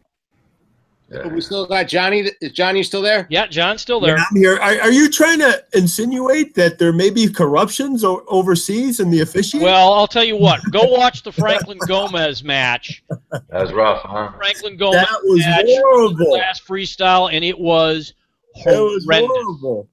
I, I, you know, I think I think the biggest thing is is you look at you look at you know what we what we consider American sports. You know, you, you look at baseball. Well, we're pro sport. We're we're pro sports dominated. Yeah, you look at you look at football. There, there's I, the the rule changes from year to year are so minute that the casual fan can still keep up with those sports. American wrestling, folk style, it's the same thing. The American fan who goes to the NCAA tournament every year can keep up with it. The rule changes are so small. However, you jump. I mean, if if you watch this Olympics and you watch the last Olympics, it's almost two different sports. The rules have changed so much. It's hard for a casual fan to jump in and say, oh, that's a that's a three point turn, or that's a two point turn, or, or whatever. Oh, that's supposed to be a one point takedown. No, that's not one point. That's a two point takedown. You know, the yeah. rules change way too much for the casual fan to follow. John and Steve, but wouldn't you wouldn't you agree? It's a lot easier to follow, you know, as an American fan, because uh, we're all plugged into our high school world, and then we're following the kids into college. You know, it's harder to plug into the international uh, world and even care about that. And so the NCAAs is like the culmination of of you know the pros. Uh, so it's easier to follow. So it's more entertaining to I mean even myself because I, I could name more college wrestlers than I could name uh, international wrestlers. So it's a little bit easier to follow uh, because of that. Wouldn't you guys agree? Absolutely. Yeah. Oh, I so agree. I mean, I mean, look at look. You go to any, you go to most state tournaments, and look how many people you get for state. I, I know in Illinois and Iowa and some of these Oh, yeah. big, big New York, big wrestling states. You know, the the attendance there for the finals, unreal. Just Yeah. Yeah. go to a senior, go to the senior freestyle nationals, or go to Fargo. Oh yeah. I mean, Fargo it's it's only mom and dads. You know, it's it's not it's not well attended as a spectator sport. Yeah, and the thing is, uh, right now, if you look at the uh, USA Wrestling website, uh, the power rankings, uh, as far as state wrestling, Pennsylvania number one, Ohio State, Ohio number two, Illinois number three, and, and so on down. And if you look at all three of those states, every single top program has kids who have committed to year-round wrestling. They wrestle preseason, in-season high school. Then they wrestle folk, uh, freestyle and Greco-Roman in the summer. You know, and that's why you you know you- you're seeing so many of these guys uh, going on to college, etc. And they do well in the in in the international styles here in the U.S. But then they get out. You know, some of them end their careers in the NCAA. Now, Steve, you obviously, you know, you went on to the Olympics.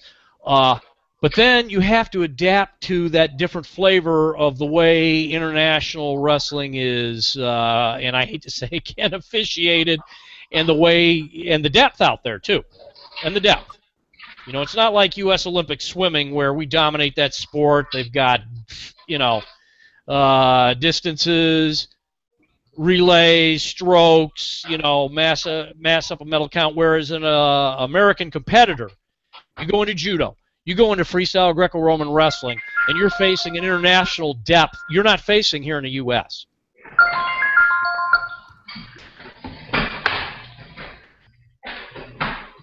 and it's getting tougher. Uh, this this year we I think we only took not only uh, it, it, it us wrestling's getting to be more like judo.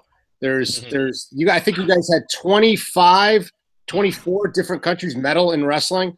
Yeah, So it, it, a lot is- of diversity. I used to I used to say you know wrestling is the way to go because if you're uh, in America, if you're a top wrestler, Steve or John, you're top wrestler here, you're going to go medal in the Olympics, just like Japan and judo, but not, not anymore. Yeah. Yeah, you No, see Japan guys- had a rough go of it too in this last Olympics in in judo. Oh yeah, well this year they they cleaned house again, but Yeah, um, uh, the the wrestling is getting tougher, and that's what I noticed. Uh, um, again, all these countries, uh, you know, a lot of the Ru- the Russian countries, of course, but it, it, it's getting more and more. Uh, it used to be only you know the U.S. and and and some of your main Eastern Bloc countries, Iran, maybe a guy from Cuba, but the last let's say eight years, it's it's really gotten um, quite global. Yeah, you see a lot of guys coming out out there and and, and uh, having success that way. Uh, you know, I think I think us us too. It's important that our our, our youth guys wrestle freestyle and Greco growing up. You know, like Yeah. back back in the day, we. I mean, I, I can speak for myself. We didn't have too many options. Like uh, you could wrestle in senior nationals, or you could wrestle at Fargo. Like that was your national. Now there's a lot more options, so you see a lot of the, the a lot of the blue chip uh, type kids not wrestling freestyle or Greco, which I think hurts them in the long run. You know, like I think you fall in love with a sport like Greco at Fargo, like like like like you said, uh, at at those places. You know, you, you find your uh, your footing for it. You know, that's a good point, Steve, because a lot of guys uh, in high school, um, particularly guys who are Greco-Roman specialists, will forego an NCAA uh, career just to concentrate, go to the OTC, and practice Greco-Roman because it's so totally different from folk style. Yeah, There's a kid in California that did that, right? Uh, a young kid, uh, Aaron Pico. Aaron Pico, well, he actually Yeah. went freestyle, but yeah, you're right. Sorry, he forego uh, an NCAA uh, career, and he decided to strictly focus on freestyle wrestling. and he almost made the team too. Almost, he was in the Yeah. trials. yeah, yeah. He's he's a stud. Uh, Yeah, I think he's. I think he just signed with Bellator. I think he's gonna start fighting MMA, if not Right. this cycle. And he wants to be a Next fighter too, right? Yeah. yeah, yeah, yeah, He's a stud, and that. But but like what I was saying is, uh, you know, now some guys don't wrestle freestyle at all. I think it. I think in the long run it could hurt us. Uh, we never had like Flo nationals. At least I don't remember it. Uh, we didn't have like all these national scholastic powerhouse tournaments. I like you said was in season was the Ironman, maybe the Beast of Yeah. the East. wa- Was about it? And now they got senior- the the Powerade. They've got They uh, all- now. If you want to talk uh, uh, dual team format, the uh, Clash in Minnesota, which is huge. The Cheesehead in Wisconsin. I mean, they're they're they're all over. The the major national competitions are all over the place right now. A Stampede in Kansas City. Uh, I mean, just Which, just which is it's great. I mean, like the more competition, the better. But especially like if I could say anything to young guys listening, Mhm. uh, I fell in love with freestyle wrestling in Fargo uh, and at the camp preparing for Fargo. Uh, I fell in love with uh, Greco-Roman wrestling at the camp too. Uh, I never really competed too much in Greco, but training it with the other guys, you know. And uh, Mhm. I think I think if guys are solely focused on Scholastic, we got to help. Like you know, we're also competing as a country. We want to have our best guys out there. So I think wrestling, uh, freestyle, and Greco is, is huge at the high school level, if not, and youth, youth level too. Mac, I got a question Yeah. for these two Yeah. guys because uh, they're they're both similar uh, in their paths. What made you guys, John and Steve? What made you decide to take wrestling to the level you did and not judo? uh, John's not here right now. Hopefully, he'll Oh. sign back in. But go ahead, Steve. For me, it was. Um, I'll tell you, I was like so. I was doing judo full time. I I, uh, I kind of like, you know, put put wrestling on the back burner a bit. I wrestle. I, I competed in uh, some some senior level tournaments. Uh, I think I was like 15 or 16. I remember the age, and like that's what I wanted to do. But then uh, I wrestled in in Fargo. I won. Uh, I got to meet Coach Buxton. Long story short, I wound up going to Blair, and then judo kind of like it became hard to facilitate at Blair. Like I still cross trained when I went home, uh, but at that point when I went to Blair, I was thinking about college wrestling and a scholarship, and uh, And just because that's what I did every day at boarding school there, living, lifting weights, wrestling. Uh, had there been a judo club there, I probably would be doing both, you know. But uh, Yeah, well, with Blair Academy too. I mean, you're you're pretty much if you go to Blair Academy Wrestling, you're looking at wrestling at the next level. It's that simple. Yeah, yeah, no, that's that's kind of what it was. Uh, but I do, I miss it, man. I, I think about uh, doing it every once in a while now. You know, just just to, just to start. You know, I Throw grab the gi on. guys. Yeah, no, they they got the guys do gi jiu-jitsu a lot, and I'll grab some of them sometimes. Just bang out like uchikomis here and there. You know. yeah, Just to I stay love sharp They with said Uchikomis. I love it. Steve, I, I remember having this conversation with with your sister a few times uh, about you doing judo back in the day, and uh, I mean, I remember thinking and and saying to her that you you've made the you know you did the right thing and you made the right choice. I mean, you you you're an Olympian in wrestling, which is phenomenal. Um, you know, it, su- it sucks for us that we couldn't get a guy like you in our sport, but the, who knows if you would have you know gone as far. Um, I was just curious on, on that, but I think you clearly made the right decision. I think it's a great point. Thanks, man. Yeah, I you know like it's it's it's uh you know I how do you feel like about them taking the leg attack? Were you guys talking about that before I come on the leg attacks? We didn't fully go into it, but uh, I I personally am uh, not a fan of. They had. I I felt like they had the the rules really good from 08 to 12, where if you were engaged, that you could grab the legs. So, for example, Teguruma, you know, where where if a guy comes in Uchimata and you're able to grab the leg once it's already in, um, because you, you've taken out quite a bit of dynamic throws from judo from taking the legs away. Now, I don't mind taking away the direct, like a direct double leg, Sure. because that's wrestling, and then then Yeah. you know that has its place in wrestling, or or just directly grabbing the pant leg, you know that that can be you know basically used to stall. That's Yeah. I don't mind, uh, but in my opinion, they took away some really dynamic stuff. And now it's no contact, right? Yeah, and and Yeah. Some They kids- killed the Kataguruma, Teguruma. well, know? some of the kids, some of the kids this year got penalized for barely touching the leg. I mean, uh, and and the, the rule before that was if you touched it, you'd get a shido, which is a a, a, a fraction of a uh, a penalty, not a Hansokumake. Which yeah, is which is insane. Yeah, the Hansokumake, that that that's just nuts. for barely touching the leg. I mean, Yeah. with with your elbow or you know inadvertent contact. You know, I think we went a little too far with that. I don't think. I, that's my opinion. Just real quick for listeners who don't understand, uh, Hansokumake is a disqualification. So just Oh. basically for touching the leg. That's Yeah, right. I'm not- A I mean- would be like a koka, right?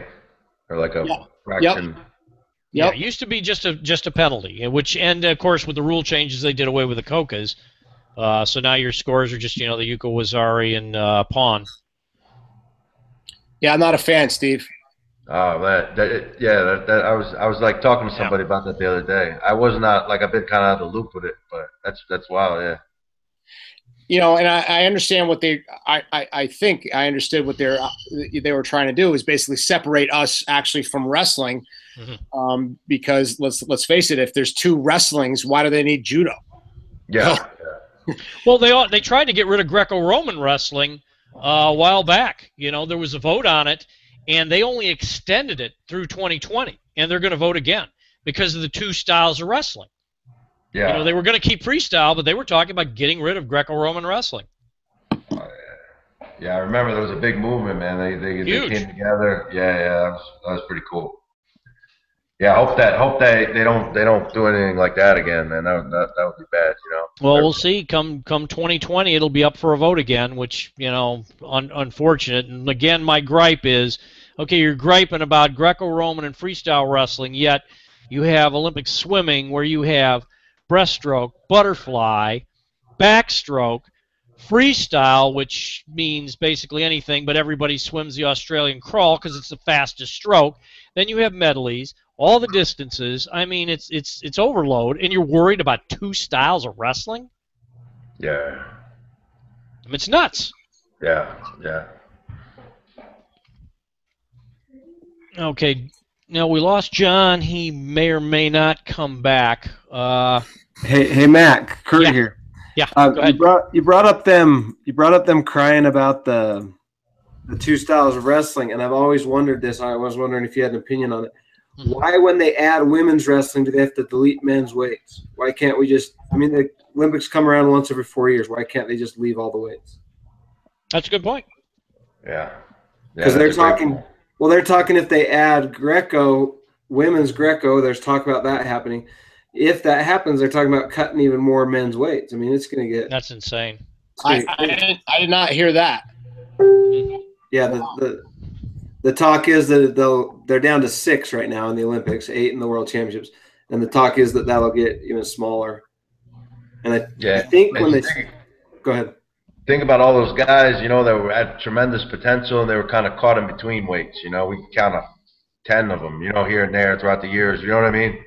So that's going to even even lead to more of that. You know? yep, Well, yeah, it hurts hurts I hope U.S. that's- wrestlers. I hope that's not the case. But you know, uh, uh, from from however the IOC looks at it, they're throwing numbers at you know USA Wrestling and says, okay, USA Wrestling, you get not sorry, not USA Wrestling, the uh, International Wrestling. FILA, yeah.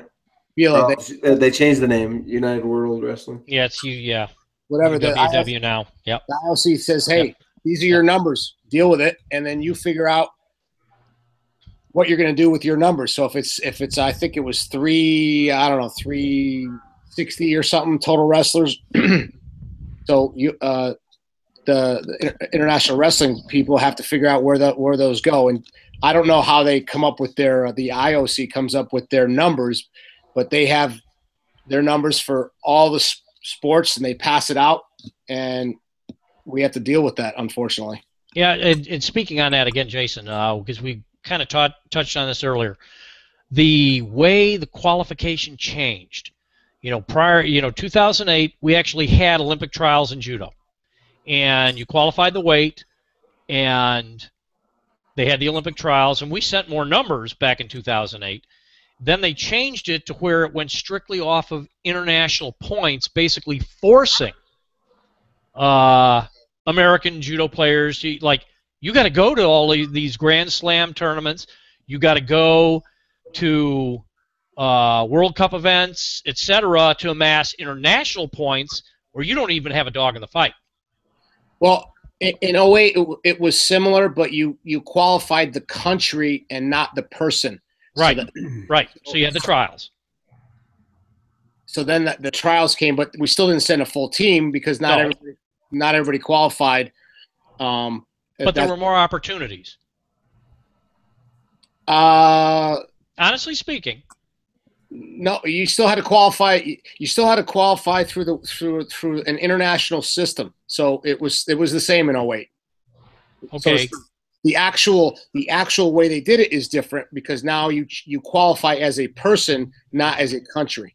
Okay. Well, please explain the difference. I, I because you know I mean I know it's confusing, but the difference is is you have one guy who say medals in the Pan Am Championships, yep. qualifies the weight but could potentially lose in the Olympic trials, and another guy could go. Versus Correct. now, though, where you're stacked up against the rest of the world internationally, and even if you medal in the Pan Am Championships or you have X amount of points, you may still not get there simply because of the numbers.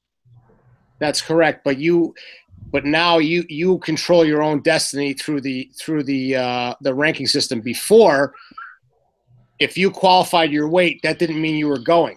That that, that meant that you were going to have a trials. Okay, so which do you prefer? I mean, do you do you like the current system better? Oh, absolutely. I okay. Mean, no, that's I, that's what I want to. Yeah. Okay. If, if, Brad goes all over the world and qualifies the weight, and then he comes home and loses to a guy who fights him tough in the in the uh, uh, in the you know American on American can be a tough matchup. Sure, a guy you, you you maybe fight all the time and knows you. Correct, and uh, you know a trials is a, a totally different ball game than an international event. So that way, Brad goes and qualifies, and he gets to go. And the way the way our system is, though, uh, it's not our system.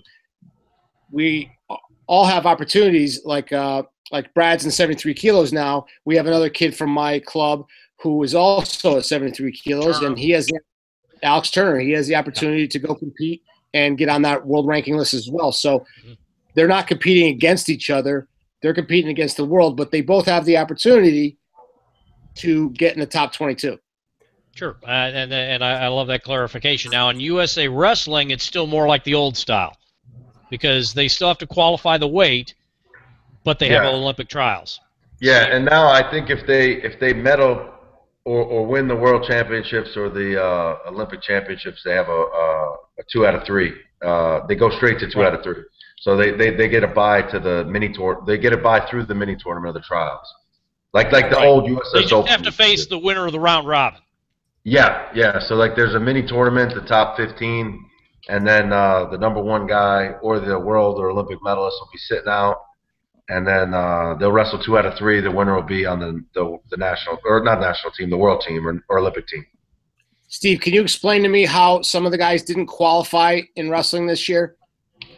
Uh, they all did, didn't they? Yeah, they, we all the, all the freestyle guys. I'm pretty sure everybody qualified. Didn't all the Greco guys qualify too? There was some. There was no, one not all the Greco qualified. There was oh, one or two right. holes in there. Yeah. Yeah, yeah. The freestyle team, I'm pretty sure everybody qualified. Uh, I wasn't sure that the Greco team. Uh, you know, it's tough, man. It's tough. Those, especially those countries that have a bad world championship. You know, maybe they drop a match and don't get carried through the repechage. I mean, you're dealing with real killers that that are all trying to get into the games, and uh, I guess uh, there's a few different opportunities, continental games and and whatnot. Usually, the U.S. guys will get it done there. If not, there's some overseas qualifying uh, events, you know, where they take the top three. Uh, I guess a couple of them didn't make it through, but but uh, yeah, well, we actually had a huge I, I don't want to say controversy, but a dust up, you know, between two Iowa Hawkeyes, uh, Tony Ramos and yeah. Daniel Dennis, both from yeah. Illinois, both from Illinois. And, yeah, I'm, I'm real familiar know, with, with, them. I, I was there yeah, when they. And I don't want to get into the melodramatics of it because that that got pounded ad nauseum. But yeah. uh, basically, Ramos was a world team member. Uh, Daniel Dennis came back, trained at Iowa, and then Dennis beats him Yeah. Two straight in the uh, in, In the trials, in the three, yeah. and he gets the spot. And that was a huge falling out, and of course caused Ramos to bolt from Iowa, and now he's uh, an assistant coach at UNC. And I know Yeah. I'm, I'm sure you followed that. You're familiar with I that. Uh, yeah, yeah, I, I followed it. I, you know, like I thought, you know, I didn't think anything was wrong about it. I thought uh, the only No, the thing that could have been won. done different is how they, they presented it to the public. They got that stuff doesn't need to be aired out right in the moment like that. Uh, the Hawkeye Wrestling Club's job is to get the best guys on the team, and they did that. Uh, the Hawkeye Wrestling Club is not one person. There, there's there's probably 12 people on the team, and then they, that that the Hawkeye the Hawkeye Wrestling Club is put in place for guys that were on the college team that want to pursue higher goals to to to reach them. Uh, so the better the college team is, the- the better the Hawkeye Wrestling Club is going to be, and, and vice versa. Uh, I didn't think anything. I thought that I thought that got blown up. You know, that's just my opinion. You know, Oh I don't yeah, no, no, it, like it was, it was, that was a Uh, huge issue. It was all over the place. If they if they could, the Hawkeye wrestling team would have put the top three guys in that room. If they Sure. could, they would have put the top five guys in that room. Uh, it just helps each other. I know had the shoe landed on the other foot, I don't think it would have been that big of a blow up, but it didn't, and then that's what it is. You know what I mean? Sure. And speaking of wrestling clubs, uh, which wrestling club were you affiliated with between college and then uh, prepping for 2008 Olympics? You know, I, I, I was affiliated with a lot of them. Uh, I wrestled for the NYAC. I trained in uh, the Cowboy Wrestling Club in uh, Stillwater for a year. I trained at the OTC for three years. Uh, I trained at the Hawkeye Wrestling Club, even though I competed for NYC, but I was like a Hawkeye Wrestling Club, I guess, resident athlete, uh, coach for a couple years. Uh, I went there when Terry left the OTC to go to Iowa. And then when I took a coaching job at Lehigh and I came out of retirement, uh, I wrestled for the LVAC. So Okay. I pretty much touched a lot of different clubs. I, you know, I couldn't say enough about all of them. I think that they're they're tremendous for for college kids to reach their goals. Because unless you're number one, you, you- you're not you're not earning earning money, and um, Bingo. we gotta, There- that- we got to that's a- raise that money. For, for Actually, you know, that's something I want to touch on real quick. Talking about the funding. Uh, when we speak about USA Wrestling, you know, and, and speaking about wrestling clubs like Sunkist Kids, New York, New, New York Athletic Club, etc. Jason, of course, you're very familiar with New York Athletic Club. Uh, we talk about USA Wrestling and USA Judo and funding just to give you an idea of what U.S. judo and wrestlers are facing against, say, a Russia and their budget, or a Japan and their budget, or a even a Brazil and their budget versus what USA Judo or USA Wrestling provides. Jason, Well, geez, uh, Russia right now, go ahead, and say it. You, we know their, their president is a judo guy. he's a black belt. So I mean, he's been dumping money into that program uh, for the last eight years, big time, uh, and Millions. Millions, just millions. I, I couldn't I couldn't answer you what their actual budget is, but uh, I mean they're, they're they're pros. They're they're they're straight up pros. And Yeah. uh, Well, I heard it was over 10 million. That that's just what I heard for Russia. I, I wouldn't. for judo, not even wrestling. It's even more for wrestling. Yeah, I, I wouldn't doubt that. The, I, I bet you it's higher. I mean, you know, Yeah. to include their coach, right, which is uh, Yeah.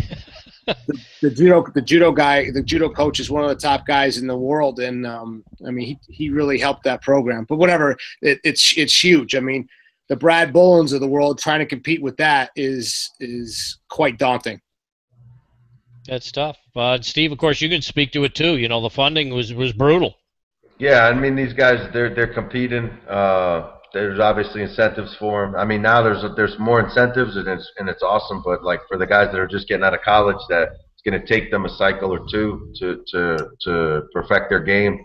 I mean you want to be in a world class training environment and give yourself all those edges.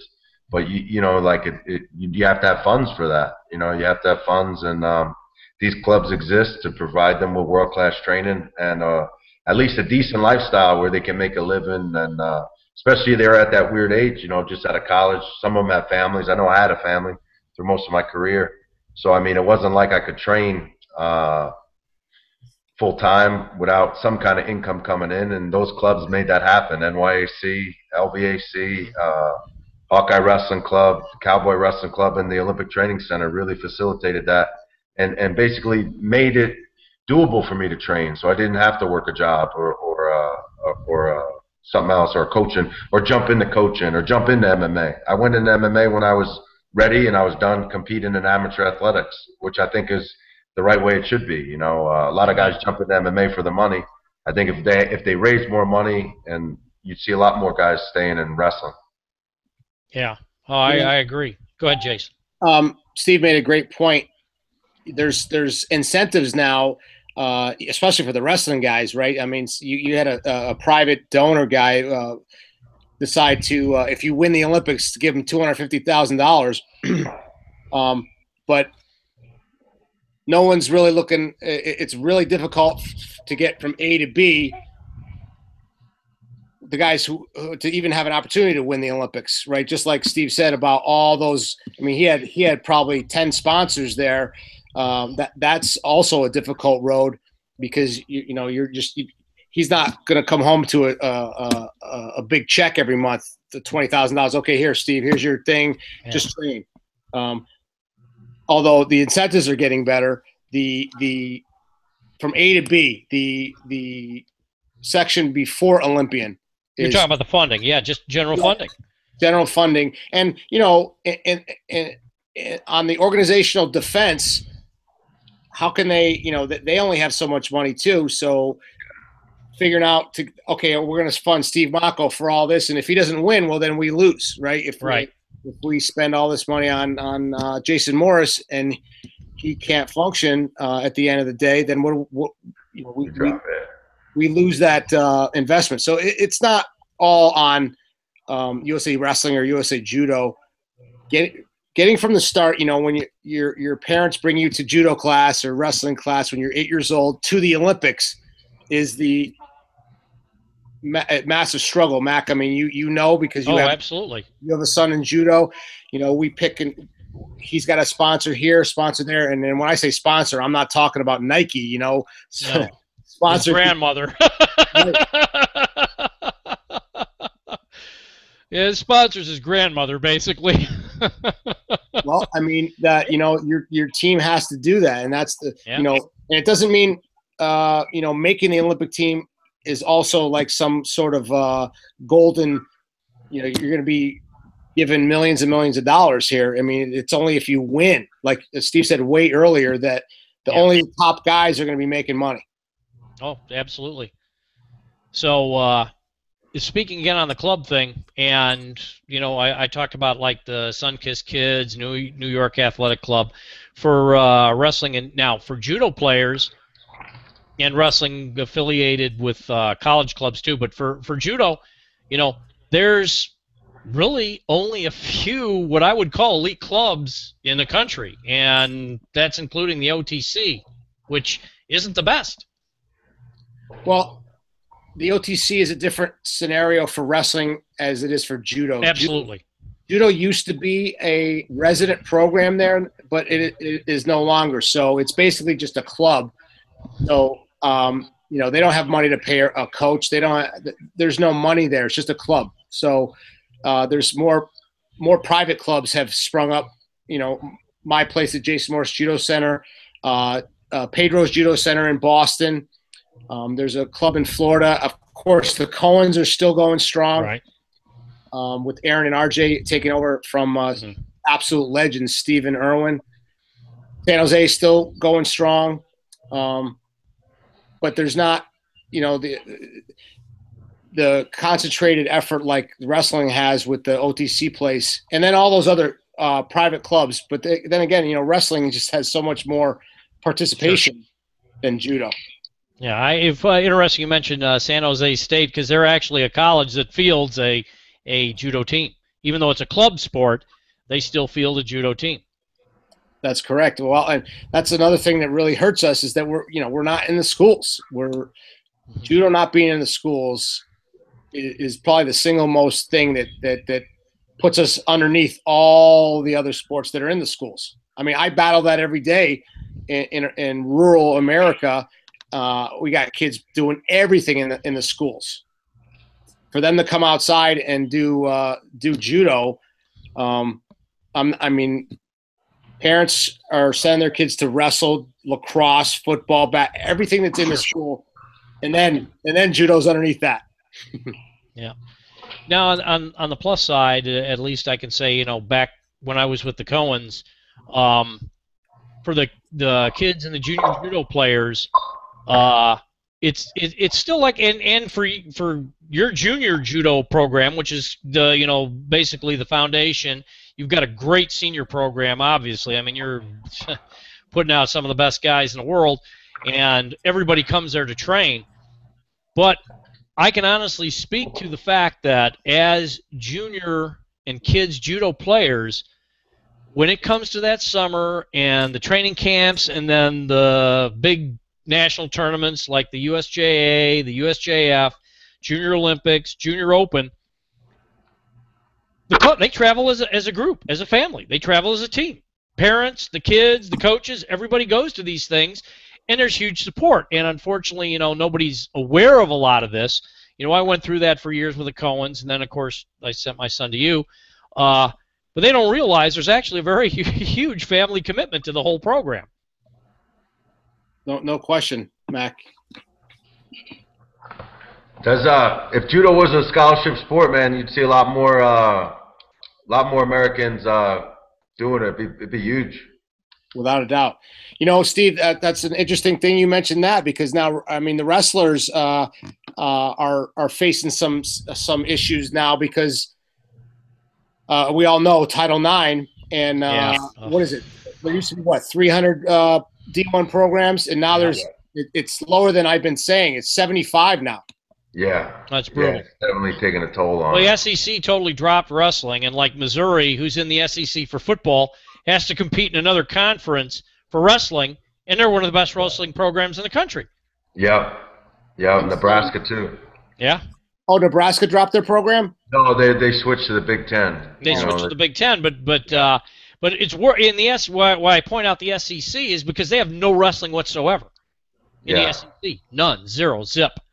Yeah, uh, it's definitely it's definitely hurting them. Uh, you know, I think of you know sports sports like female wrestling will help if that ever gets to the next level, and and uh, you know like if they put if they you know female wrestling lately is getting a lot bigger uh, shows tremendous uh, promise with like the younger youth level ages. The numbers continue to rise.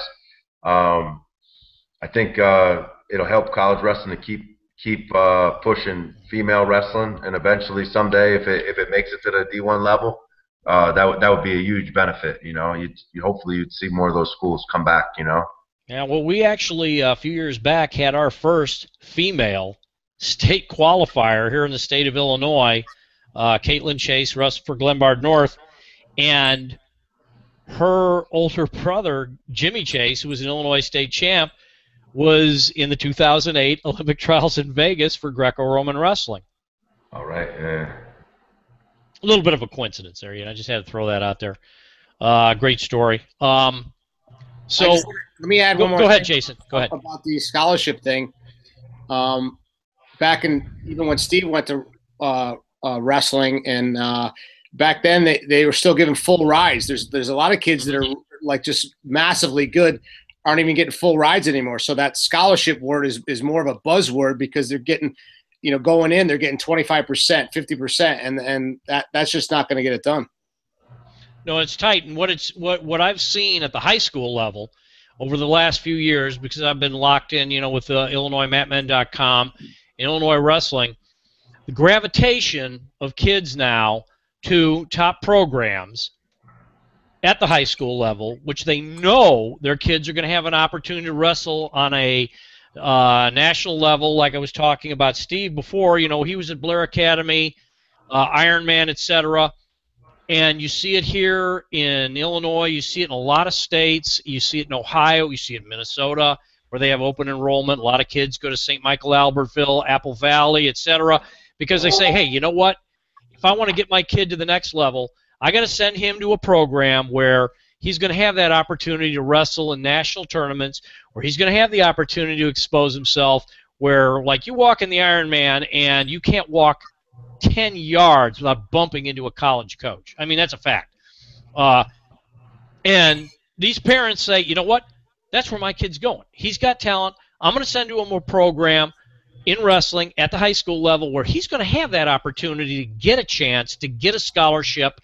Uh, and I saw it firsthand at my alma mater, where I wrestled at uh, Oak Park River Forest High School, where we're sending kids to Minnesota, UNC, uh, Michigan, Ohio State, and it's the same thing now um, across the nation.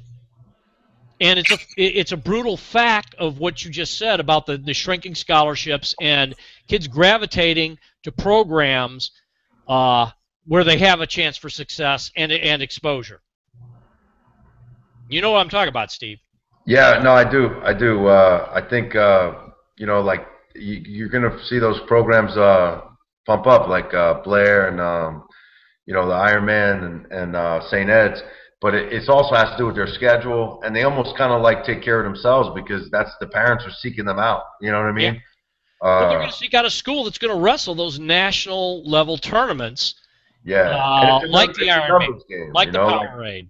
Like the, the more times the, the, the, college coach sees your son wrestle, Bingo. the more times he's a name on the bracket.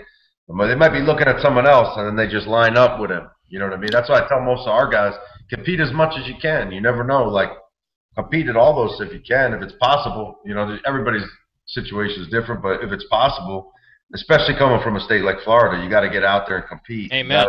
You got to make them recognize you by wrestling guys are looking at here and there. You know what I mean?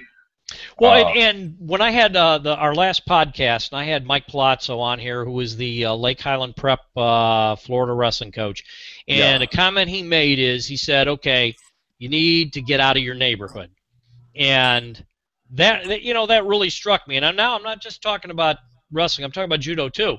You need to go to a place where you know you can be good at the local level, but then if you have that talent, if you need to step your game up, you need to get with a program that's going to put you out there and go to, like I was saying before, you know, the the Clash, the Ironman, Orange Judo, all those four big national tournaments for the kids, the JFs, the JAs, the Junior Open, Junior Olympics, and I mean, if that's the route you're going, that's a commitment you got to make. That's a fact. Yeah, absolutely. You know, I, I couldn't agree with that more. I mean, that's that's what we preach to a lot of our young kids and our and our uh, just get in the habit of it. You know, uh, get in the habit of it. It's going to be part of your culture. It's going to be something you're going to be doing if this is what you want to do all throughout college, and if you're lucky enough in the open. So traveling and competing and just competing in general is the best way. You know, uh, I'm real hesitant with kids if they're saying, "Well, I don't know if you should compete. I just want them to practice." I'm like, that's great, you know, like practice, develop, but the the, the uh, part of the sport is competing, you know, putting it out there, winning or losing, you know, just like learning what works, doesn't work, uh, keeping yourself accountable, so you're not just going through the motions. You know what I mean? You know, actually, I, am glad you mentioned that, Steve, uh, and I want to uh, hit up both you and Jason on this uh, because. I'm sure both of you and I uh, have run into, and I hate to use the term, the psycho parent you know that yeah you know what i'm talking about the psycho parent who maybe has those overly high expectations and you know you're you're the coach you're the instructor you have to deal with the ground truth. And jason i'm going to you you first. You know as a coach that puts you in a difficult situation. So how, how do you handle that?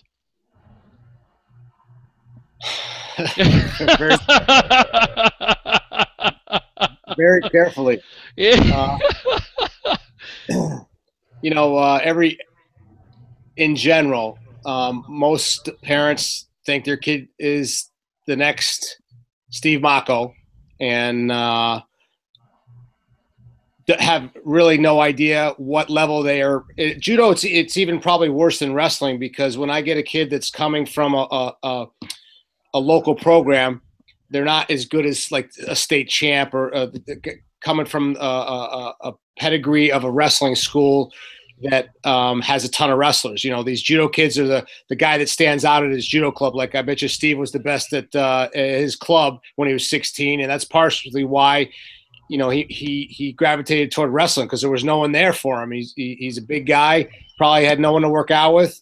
You know, you go into a wrestling room and there's a, a ton of guys. So when I get a kid um, and they're the best in their club, I probably have to deal with that more often than not. That their kid's going to come here and get their ass kicked, and and uh, like you, you know, you experienced it when. Um, oh yeah, no, his his first few years he took a beating. He didn't turn the corner until 2010. But you didn't have any. I mean, I had no issue with you. no, no, no, no. I that's why I stayed away. That's that's one of the reasons why. And even even when I was at Cohen's, I I let you know. I mean, come on Steve Irwin, RJ, or and I just you know sat on the side and uh, I'm not going to curse here and say shut the you know what. I'll just let them handle it. And just like when I sent him to you, you know that's one of the reasons why I said that he's in your hands, all on you. Pretty well. I mean, if I had if I had everyone like that, then I, there, there, we wouldn't even be having this conversation. But but but it's something you got to deal with.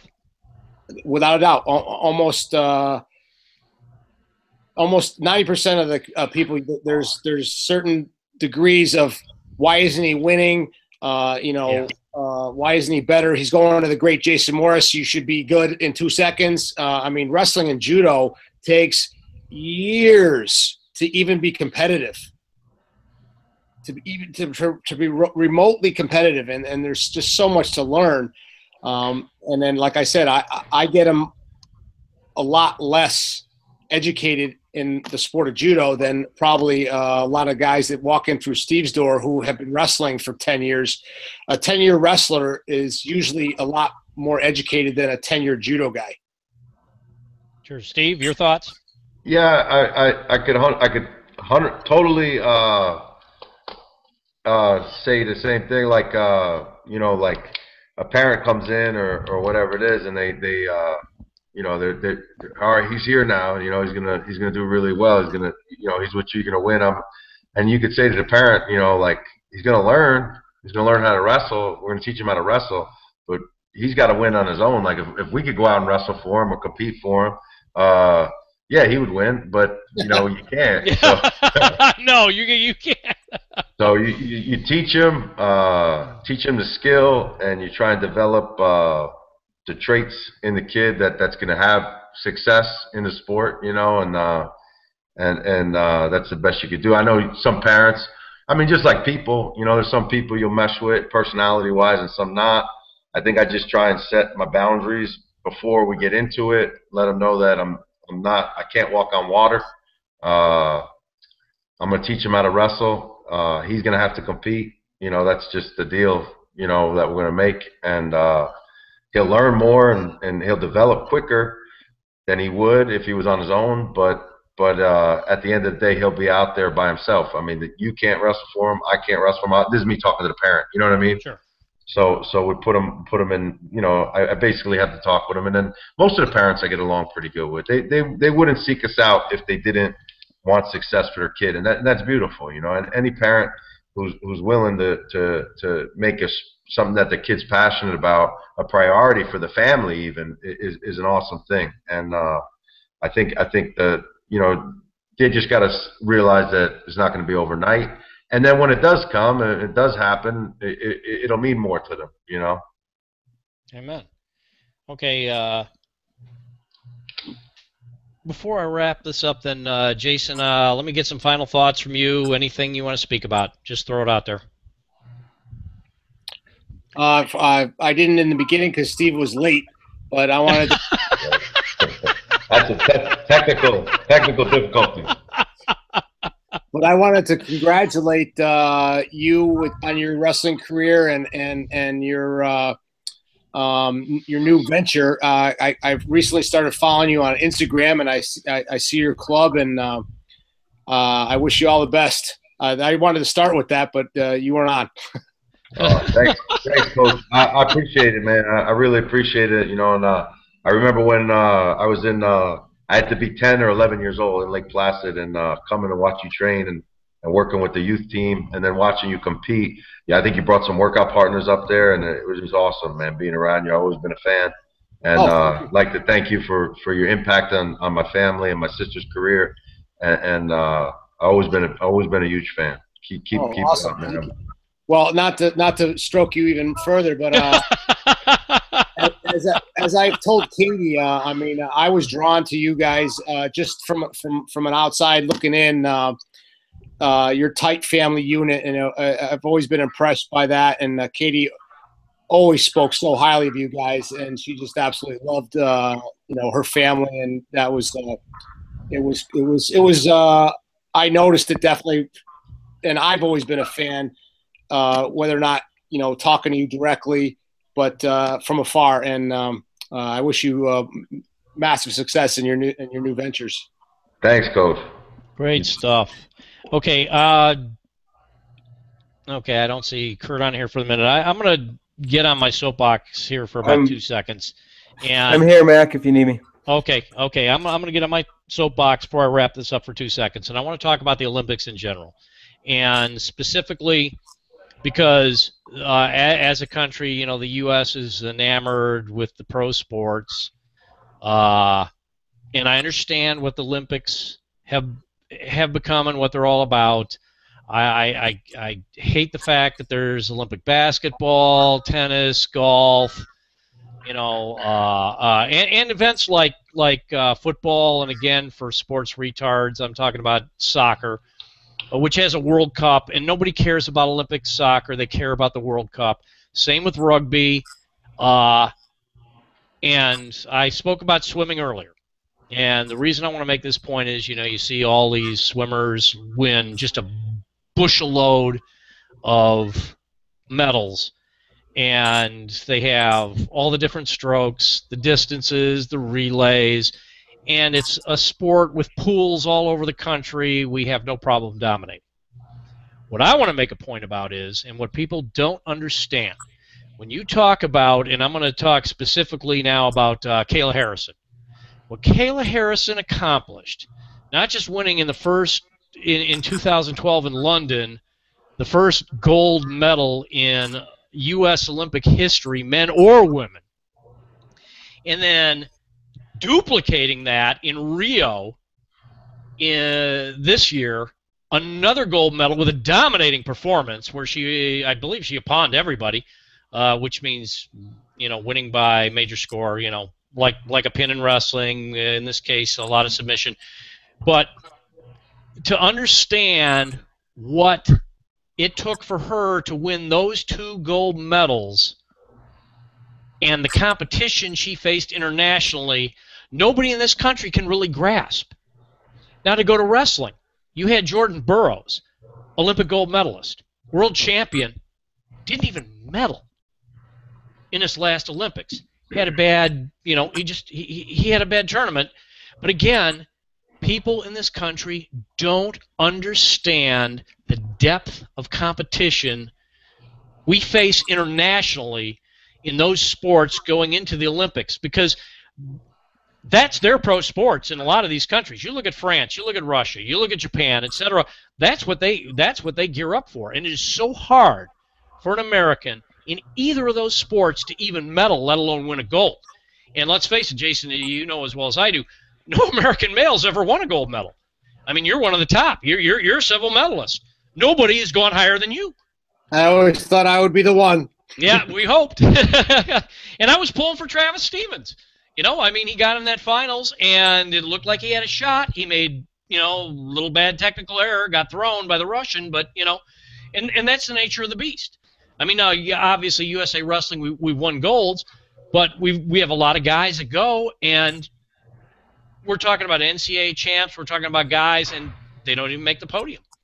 And again, to put it in perspective, that's how tough it really is in these two sports for Americans because what we face internationally with the rest of the world in these sports is nothing like what our pro athletes face when they go into something like the Olympics because our pro athletes are the best. Uh, you, you have the NBA, you have Major League Baseball, you have golf, you have tennis. They're they're their best. So that's why I really want to make a point because the amateur athletes, the true, the guys who have to fight for the funding, who who have to scrape and claw and travel six time zones, do competitions, build points. Uh, those are the guys that I want to see in the Olympics. And that's okay. That's that's my my rant. I'm off my soapbox now. uh, Kurt, you want to wrap it up? No, some good points. Thanks, guys. This was awesome. Mocco, I've I've been a long time fan. Pleasure to finally meet you at a distance like this. Thanks. And Nice uh, to you too. Thank- Thank, Thank all the judo players, man. Uh, you know, wrestling and judo together, they're they're uh, two major sports. I love them both. Uh, uh, all you wrestlers too should uh, work on judo. Cross train with it. Develop your hips and your feet. And uh, you know, we we spend a lot of time in this country with leg attacks, but using your feet is also a leg attack. You know, it's it's a it's a huge offense. Uh, thanks, guys. Thanks for having me on. Thanks, Great point. Steve. Thank you. All very right. Jason, thanks. And My for pleasure. everything, obviously, not just being on tonight, but, you know. Yeah, All right. back. Your son's a nightmare. No, yeah, I I'm know. I'm just kidding. I'm just kidding. Just, just All right. kidding. Just kidding, no, I know, I know, I know, I know. Yeah, I'm just going to wish him good luck in Estonia at the European Open. Thanks, guys. okay. Thank you. Hey Mack, one last thing. Do you want to say what time your podcast is tomorrow night? Yeah, okay. Tomorrow we're going to do a follow up on this. I've got Aaron Cohen and Justin Flores, kind of staying with the same theme here with the wrestling judo. Uh, we're going to go at 9 p.m. CST, uh, Central Standard Time. Uh, I had to kind of bump it back to accommodate Justin, and I, I, I'm just going to kind of tease it, but there's an interesting um, connection between the two of them with some kind of popular MMA fighter. But I, I I'll go into that tomorrow night so you could uh, uh, hear it. Okay, sounds good, Mack. Thanks, thanks everybody, and we will uh, we'll see you tomorrow night at High School Wrestling. Thanks, guys. Really Bye. appreciate it. No problem.